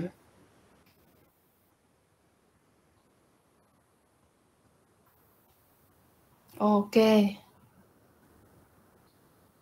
Rồi, um, ờ, nói chung á, là ở đây cô muốn uh, lưu ý các em như thế này, ký chủ chính á, và ký chủ trung gian á, thì nó sẽ tùy thuộc vào ký sinh trùng cụ thể. Ví dụ như là người có thể là ký chủ chính đối với trường hợp là sáng dây heo hoặc là dun đũa, nhưng mà người có thể là ký chủ trung gian trong trường hợp nhiễm ký sinh trùng sốt rét chẳng hạn. Cho nên là cái khái niệm ký chủ chính và ký chủ trung gian này thì nó chỉ đúng cho từng trường hợp ký sinh trùng cụ thể thôi các em ha, hình dung được ha. Như vậy thì ở đây ký chủ chính là mang ký sinh trùng ở giai đoạn trưởng thành hoặc có khả năng sinh sản hữu tính. Còn ký chủ uh, trung gian là mang ký sinh trùng ở giai đoạn ờ, ấu trùng hoặc là giai đoạn sinh sản vô tính. Và nói chung ở đây cô nói luôn đó là không phải ký chủ chính thì là ký chủ trung gian. Điều đó có nghĩa rằng nếu các em có một ký chủ thì đó là ký một ký chủ chính. Còn nếu có nhiều ký chủ trở lên thì sẽ có một ký chủ chính và còn lại là ký chủ trung gian trung gian truyền bệnh cơ học là gì? Trung gian truyền bệnh cơ học các em được hình dung được được mô tả đó là những cái sinh vật chỉ tải chở ký sinh trùng mà không bắt buộc đảm nhận sự phát triển của ký sinh trùng đó. Hả? À, à, cô ví dụ hai trường hợp như thế này. À, cái trường hợp thứ nhất là cái con ruồi nè thấy cái con ruồi này nè nó đậu vào trên một cái một cái bãi đất hay là một cái bãi rác rồi nó dính cái chân cái chân cái cái cái cái chân của nó dính những cái trứng giun sáng vào trong cơ thể và khi nó đi đến thức ăn nước uống thì nó lại đậu vào trong đó và nó nhiễm trứng giun sáng vào trong cái thức ăn nước uống của mình. Còn cái trường hợp thứ uh, cái trường hợp thứ hai uh, cái trường hợp uh, đó là cái trường hợp về cái con ruồi. Còn cái trường hợp thứ hai là cái con mũi. Cái con mũi khi nó chích người này thì nó lại hút phải cái um, mầm bệnh dung chỉ và khi mà cái ấu trùng dung chỉ này vào trong cơ thể mũi thì lột xác khoảng hai lần hai lần để phát triển hoàn chỉnh rồi sau đó tập trung ở cái tuyến nước bọt của mũi. Khi mũi đốt người khác thì lây cho người khác. Như vậy trong trường hợp con ruồi với con mũi thì cái nào là trung gian truyền bệnh và cái nào là ký chủ?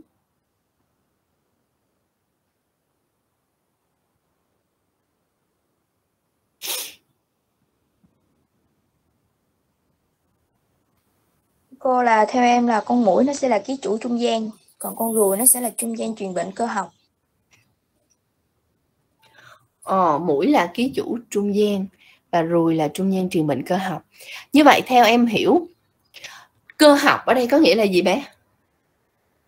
Cơ học là kiểu như là nó vận chuyển mà kiểu như nó nó không có không có chủ đích đó cô. Kiểu như nó không phải là cái uh, trách nhiệm của nó em nghĩ là vậy. Ừm, ok cơ học ở đây là một là là giống như là sao ta? Có nghĩa là uh, cơ học ở đây có nghĩa là nó chỉ mang vác tải chở thôi chứ nó hoàn toàn không phải là đóng một cái vai trò sinh học để nuôi dưỡng chứa chấp và cung cấp cái môi trường cho ký sinh trùng đó phát triển các em hình dung được ha thì đó gọi là cơ học. Ví dụ như con ruồi à nó dính cái trứng lên thôi nó không có đảm nhiệm cái trứng này là à nó phải được ờ, nó phải được nuôi dưỡng phải được bảo vệ trên cái cơ thể con ruồi không? À, có thể là trong quá trình ruồi này nó bay nó đánh rơi cái trứng ở giữa đường hoặc là trời nắng quá cái trứng này nó chết queo cũng cũng cũng có thể nó cũng bị uh, bị chết đi cũng được đúng không? Cho nên là đó được gọi là cơ học. Còn bản thân ký chủ á, là những cái sinh vật mà nó tải chở ký sinh trùng một cách sinh học. Có nghĩa là nó mang ký sinh trùng trong cơ thể mình nó cung cấp những cái điều kiện để giúp cho ký sinh trùng có thể phát triển được ở trong cơ thể. Thì trong trường hợp mà con mũi nó mang cái ấu trùng nhun chỉ thì hồi nãy em cô có nói là nó ấu trùng dương chỉ có lột xác trong cơ thể mũi kia nó tạo điều kiện cho ấu trùng này có môi trường có chất dinh dưỡng cần thiết để thực hiện quá trình lột xác và sau đó thì truyền sang cơ thể người khác. Cho nên ruồi thường ở đây trung gian truyền bệnh cơ học thường là ruồi nhặn. Và ký chủ ký chủ trung gian à, thì trong trường hợp ví dụ vừa nãy thì mũi chính là ký chủ trung gian. Các em hình dung được rồi ha?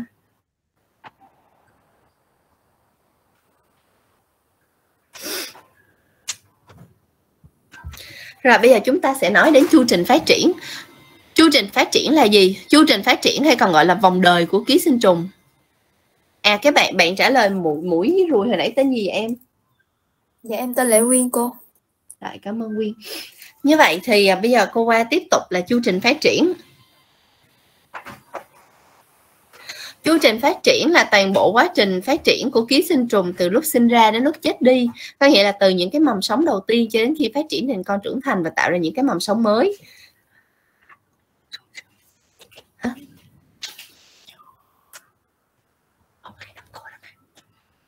cô ơi. Ơi, nói đi em. Dạ cho em xin nghỉ sớm bữa nay được không cô? Ờ, em Nay em đi tiêm vaccine. Ok, ok, ok.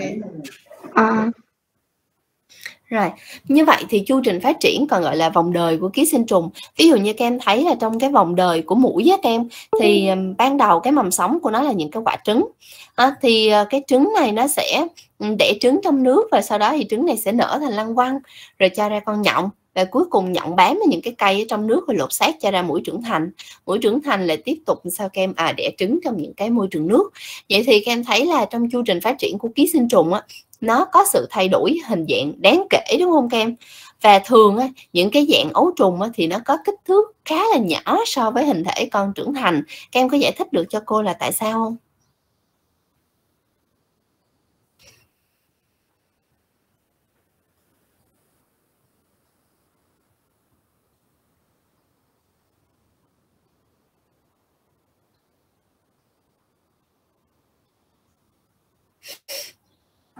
Em thử nha cô. Em nói đi. Dạ là à, nó phải nó phải phát triển thành một con lớn hơn để gì? Để nó một phát triển thành những uh, cấu trúc đặc thù để có thể ký sinh được trên uh, ký chủ đó cô. Ý ý, ý cô hỏi là ờ, tại sao những cái ấu trùng á, tại sao những cái ấu trùng cái giai đoạn ấu trùng á, kích thước của nó rất là nhỏ rất là nhỏ so với cái kích thước mà của con trưởng thành hoàn chỉnh ký sinh trùng đó. Tại sao nó nhỏ như vậy theo em? Cái thuận lợi là gì nó giúp cho ký sinh trùng có được cái thuận lợi là gì? À, nó nó kiểu nó dễ dàng xâm xâm nhập rồi có dễ dễ dễ dàng sống trên những môi trường khắc nghiệt đó cô. Dễ dàng xâm nhập là chính xác ha. Ờ thu hả em? Dạ rồi, dễ dàng xâm nhập. Các em các em hình dung coi, khi mà các em ăn một cái miếng thịt heo mà có ấu trùng sáng dễ heo, có cái cái nang sáng, cái nang sáng nó nhỏ hơn cái đầu que diêm nữa các em ờ thì các em ăn các em có để ý không không nó lẫn trong miếng thịt, nó dễ dàng lẫn trong miếng thịt và xâm nhập vào trong cơ thể và đi vào trong cơ thể mình qua đường tiêu hóa đúng không? Còn nếu mà cái nang con sáng mà nó bự như quả bóng vậy đó, thì các em ăn các em có phát hiện ra không? Chắc chắn là phát hiện ra rồi. Thì các em có ăn không? Không. Thì làm sao mà nó lây nhiễm được?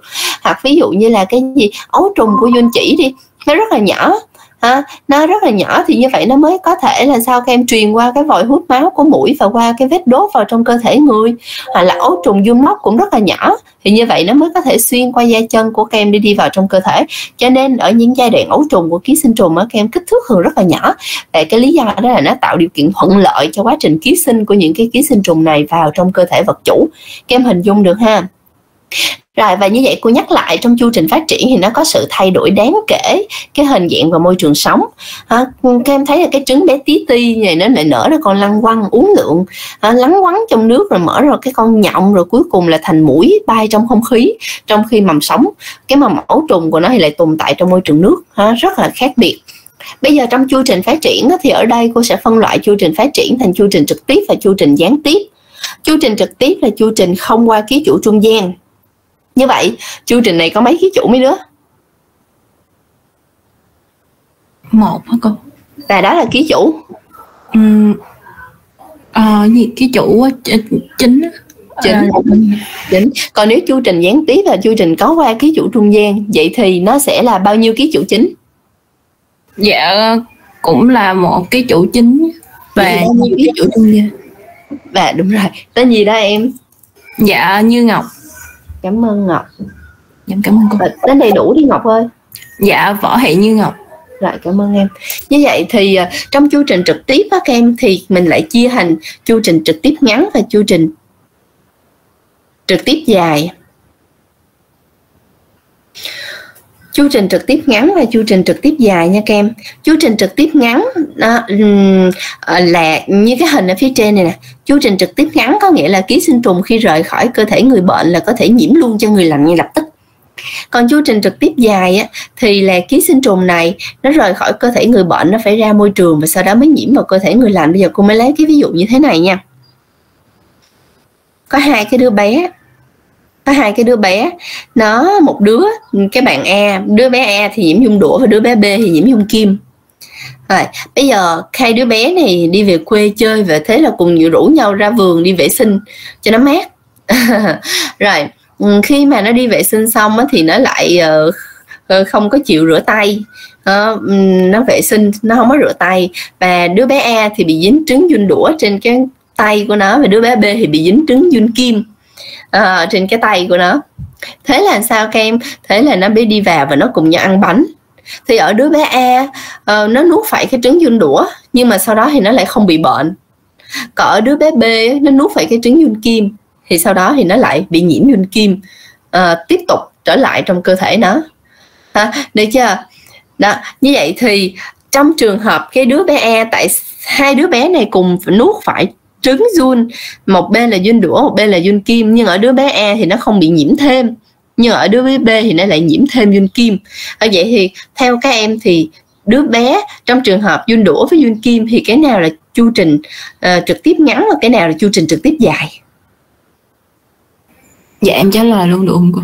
Em nói đi em. Dạ cái đứa bé e thì nó sẽ là cái uh, chu trình ngắn còn cái đứa bé B á, thì nó sẽ là chu trình dài do cái đứa bé B thì nó sẽ phát triển ở trong cái môi trường nữa Ừ, ngược rồi đúng không? Ngược lại chứ. E sẽ là dài và B sẽ là ngắn.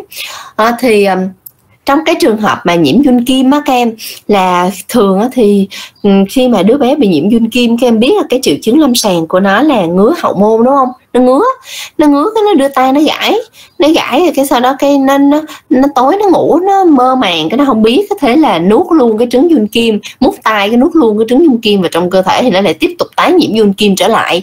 Vậy thì uh, tại sao cái trường hợp mà nguyên kim với dun đũa nó khác nhau thì bây giờ các em xem cái hình này. Người người đàn ông này bị nhiễm dun đũa và khi họ nhiễm thì họ thải trứng dun đũa ra ngoại cảnh. Các em biết cái trứng dun đũa ban đầu khi ra ngoại cảnh nó sẽ ở cái dạng hình dạng như thế này. À, hình dạng như thế này có nghĩa là trứng này là trứng chưa có phôi. Các em hình dung giống như là cái trứng gà trứng gà mới mới mới mới đẻ vậy đó. Nó chỉ mới có lòng đỏ và lòng trắng thôi. Và trứng này á nó nếu ở tiếp tục trong cơ thể người thì nó không có phát triển được em mà bắt buộc nó phải ra môi trường. Ra môi trường đất nó bị vùi trong những cái lớp đất đúng không các em? À, và trong những cái lớp đất đó thì sao? Thì không có nhiều ánh nắng nè nhiệt độ thấp hơn thân nhiệt cơ thể nè. À, và có oxy nè. Thế là đây là một cái môi trường hoàn toàn lý tưởng. Quả trứng này sẽ tiếp tục phát triển và sau khoảng vài tuần nó sẽ trở thành cái trứng mà có cái phôi dung đũa bên trong cái mình dung như trứng vịt lộn vậy đó và khi người ta cào xới đất để người ta trồng trọt rồi lỡ nhiễm phải trứng dung đũa trong quá trình à, quá trình à, tay bẩn ha người ta thao tác với đất rồi người ta chưa rửa tay mà ăn uống thì lúc này sẽ bị nhiễm trứng dung đũa. Lúc này trứng dung đũa đã có phôi dung đũa bên trong rồi thì khi nuốt vào thì người đó sẽ bị nhiễm dung đũa ngay ở các em hình dung được nha. Như vậy thì do đặc điểm trứng dung đũa sinh ra chưa có phôi, cho nên nó cần thời gian phát triển ở ngoại cảnh. Để trở thành trứng có phôi thì lúc đó mới có khả năng lây nhiễm được cho người. Có nghĩa là vào trong cơ thể người bệnh thì mới có khả năng phát triển thành dung đũa trưởng thành. Còn bản thân trứng dung kim á các em, sinh ra nó đã có sẵn phôi rồi. Nó có sẵn phôi rồi bản thân cái quả trứng dương kim được đẻ ra nó đã có sẵn cái phôi rồi cho nên nó đâu cần phát triển ở ngoại cảnh nữa mà nó có khả năng lây nhiễm ngay lập tức. Cho nên ở nhà mà có một đứa bé đi nhà trẻ bị lây dung kim á về nhà cái thế là sao kem nó ngứa nó gãi rồi nó uh, trứng dương kim dính vào quần áo mình chiếu của nó. Cái buổi sáng khi mà chúng ta dậy chúng ta vũ ờ, mền áo quần quần áo này là thì trứng dương kim nó bay lơ lửng nó đi vào hãy con không học được nên ba không không chịu bảo vệ cái cái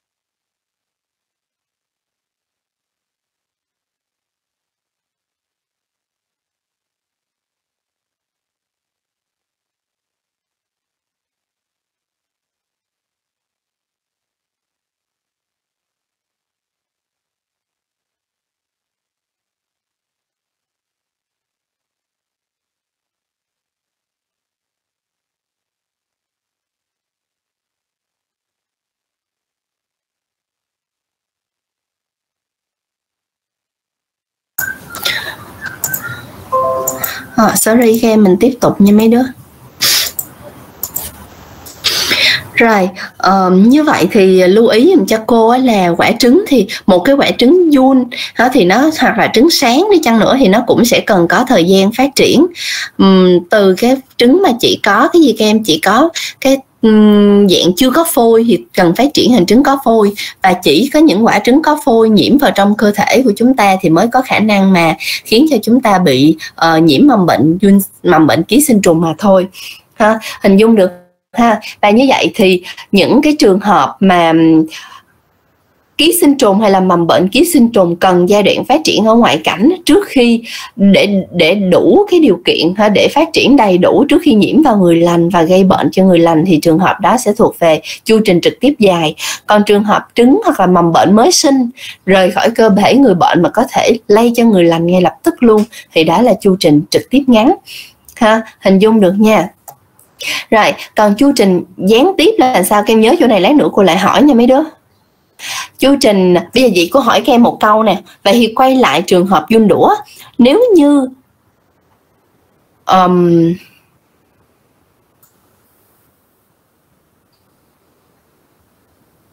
rồi quay lại trường hợp dung đũa. Giờ cô hỏi các em nè nếu như người này bị nhiễm dung đũa người này không sổ dung không biết là mình bị nhiễm dung đũa thì dung đũa ở trong đường tiêu hóa của họ vẫn tiếp tục đẻ trứng.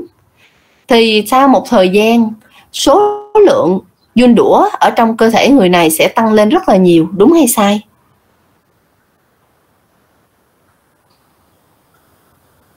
Ai trả lời được dùm cho cô? Dạ sai ạ. Tại sao lại sai vậy bé? Dạ tại vì trứng con dung đũa nó cần ra ngoài cảnh để nó phát triển nó phôi thì thành phôi thì nó mới thành con trưởng thành được. Vậy thì theo em nó có tự nở trong lòng ruột không? Dạ không. Không chính xác hả? Trứng giun không tự nở. Đa số thôi nha các em, trứng giun sẽ không tự nở trong lòng ruột. Đó và do đó thì nếu mà trứng giun mà tự nở trong lòng ruột thì dù cho các em nhiễm một con giun đũa thì chăng nữa thì sau này các em cũng sẽ bị tắc ruột mất thôi. Đúng không các em? Tại vì nó đẻ trứng rất là nhiều, hàng chục ngàn trứng mà. Cho nên là trứng giun thông thường sẽ không tự nở trong lòng ruột mà bắt buộc phải ra ngoại cảnh. Và đa số trường hợp ờ, đa số các cái chu trình phát triển của giun may mắn nó lại là chu trình chu trình trực tiếp dài. À, có nghĩa là nó phải ra ngoại cảnh mới nhiễm vào lại chứ trứng giun ở trong đường tiêu hóa chỉ thải theo phân ra ngoài chứ không tự động nở thành uh, con hay là phát triển thành con trưởng thành được. Em tên gì vậy bé? Dạ ngọc diệp ạ. À, cảm ơn diệp. Dạ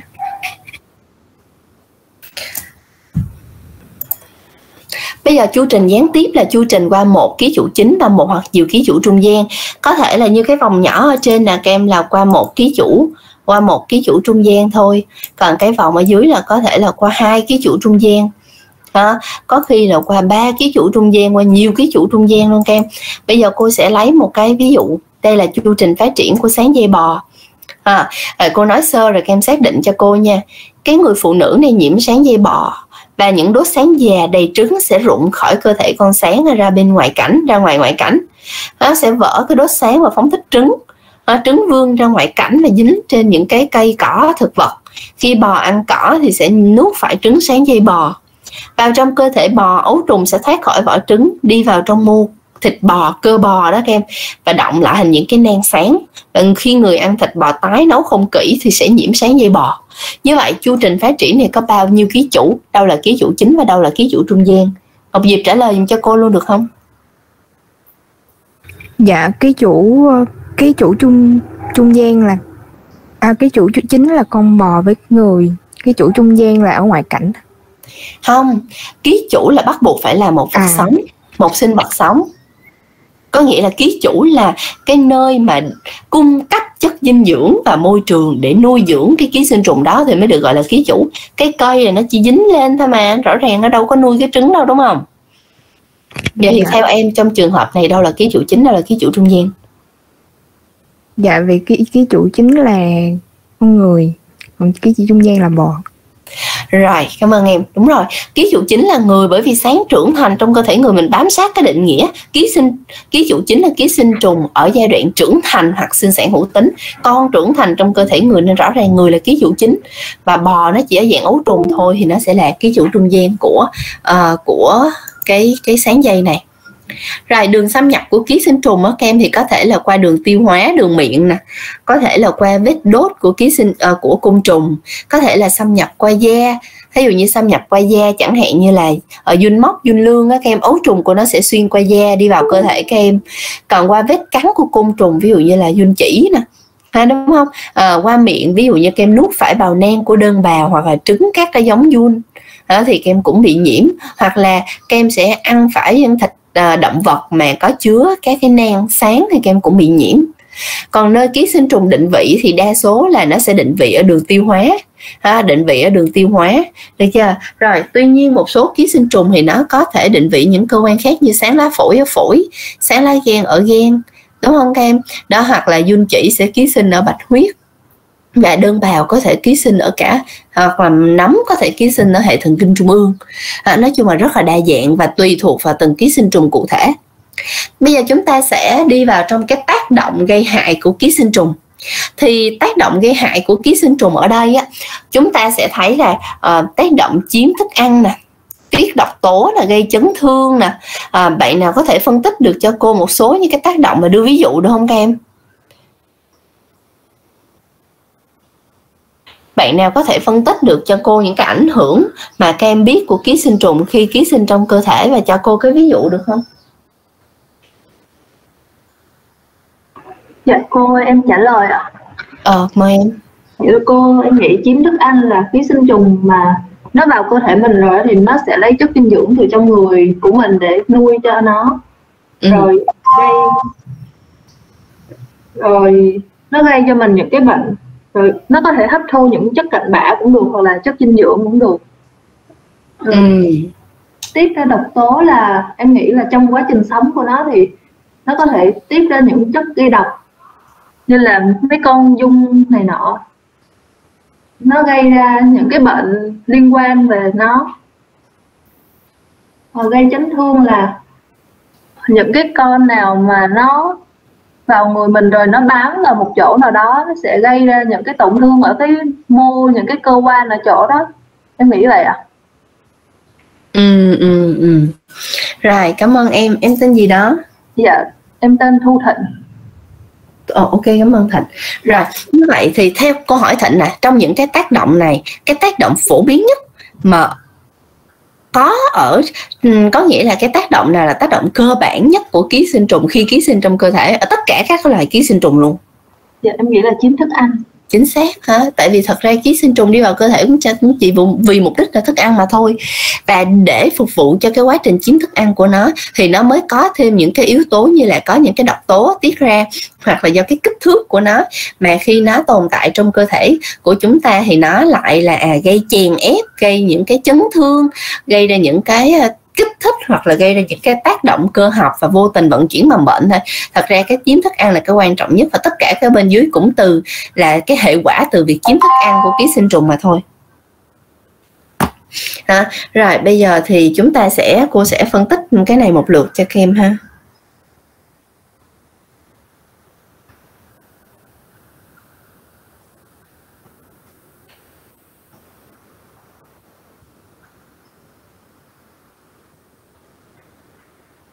HB02 này là cái dòng có thể giúp tăng sinh mạnh ở trong tế bào uh, trong tế bào vero khi mà họ uh, nuôi qua uh, khoảng bảy thế hệ họ theo dõi cái sự uh, ổn định trong cái cấu trúc của protein đặc biệt là cấu trúc của protein gai xem là nó khi mà nó uh, nó phát triển qua nhiều thế hệ ở tế bào chủ nó có sự thay đổi bên trong cái cấu trúc hay không thì đây là cái cái rất là quan trọng. Để cô chút xíu cho mấy đứa.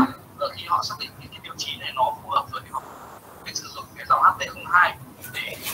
Thank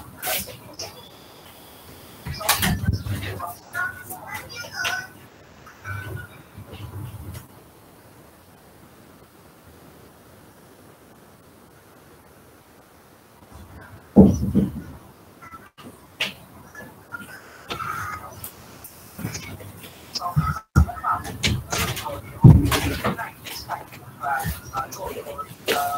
Rồi tiếp tục nha các em bây giờ nói về cái tác động mà chiếm thức ăn thì thức ăn của uh, cô hỏi thịnh nha thức ăn của của ký sinh trùng thường là gì vậy thịnh?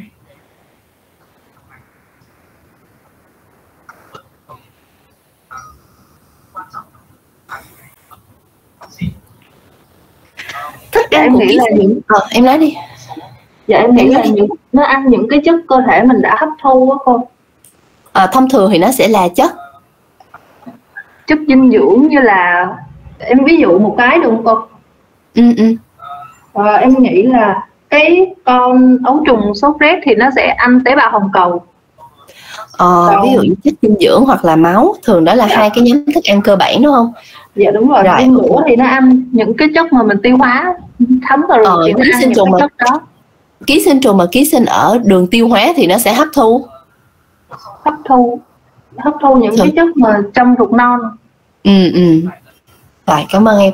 Thường á thì thức ăn sẽ là chất dinh dưỡng hoặc là máu thôi các em ha. Rồi ờ, tiết độc tố thì một số ký sinh trùng có thể tiết độc tố. Ví dụ như các em các em thấy là um, nó sẽ những cái con giun móc á mấy đứa khi mà nó tấn công nó xâm nhập cái cơ nó nó nó bám vào thành ruột á các em thì nó sẽ dùng những cái răng sắc nhọn của nó để ngoạm vào niêm mạc ruột rồi chưa hết. Ha nó sẽ còn tiết ra những cái chất chống đông máu nữa khiến cho ngay cái vị trí cái cái vết thương đó các em máu nó cứ rỉ.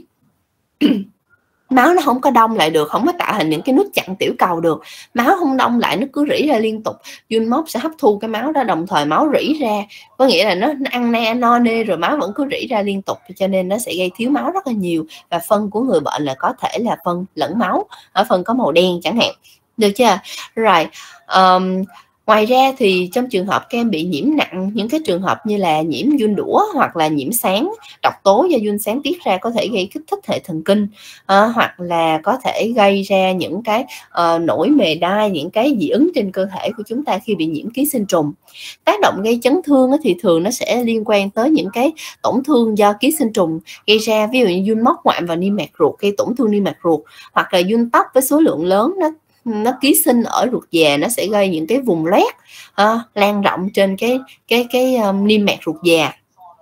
Còn tác động mà cơ học thì các em có thể thấy là nó sẽ gây gây tắc nghẽn cơ học. Chẳng hạn như ừ, cái người này nuốt một lần rất là nhiều trứng giun đũa nè các em và khi giun đũa trưởng thành thì nó gây tắc ruột. À, nó gây tắc ruột như thế này. À, các em thấy được chưa rất là nhiều à, rất là nhiều những cái giun và nó sẽ gây ra tắc ruột cơ học.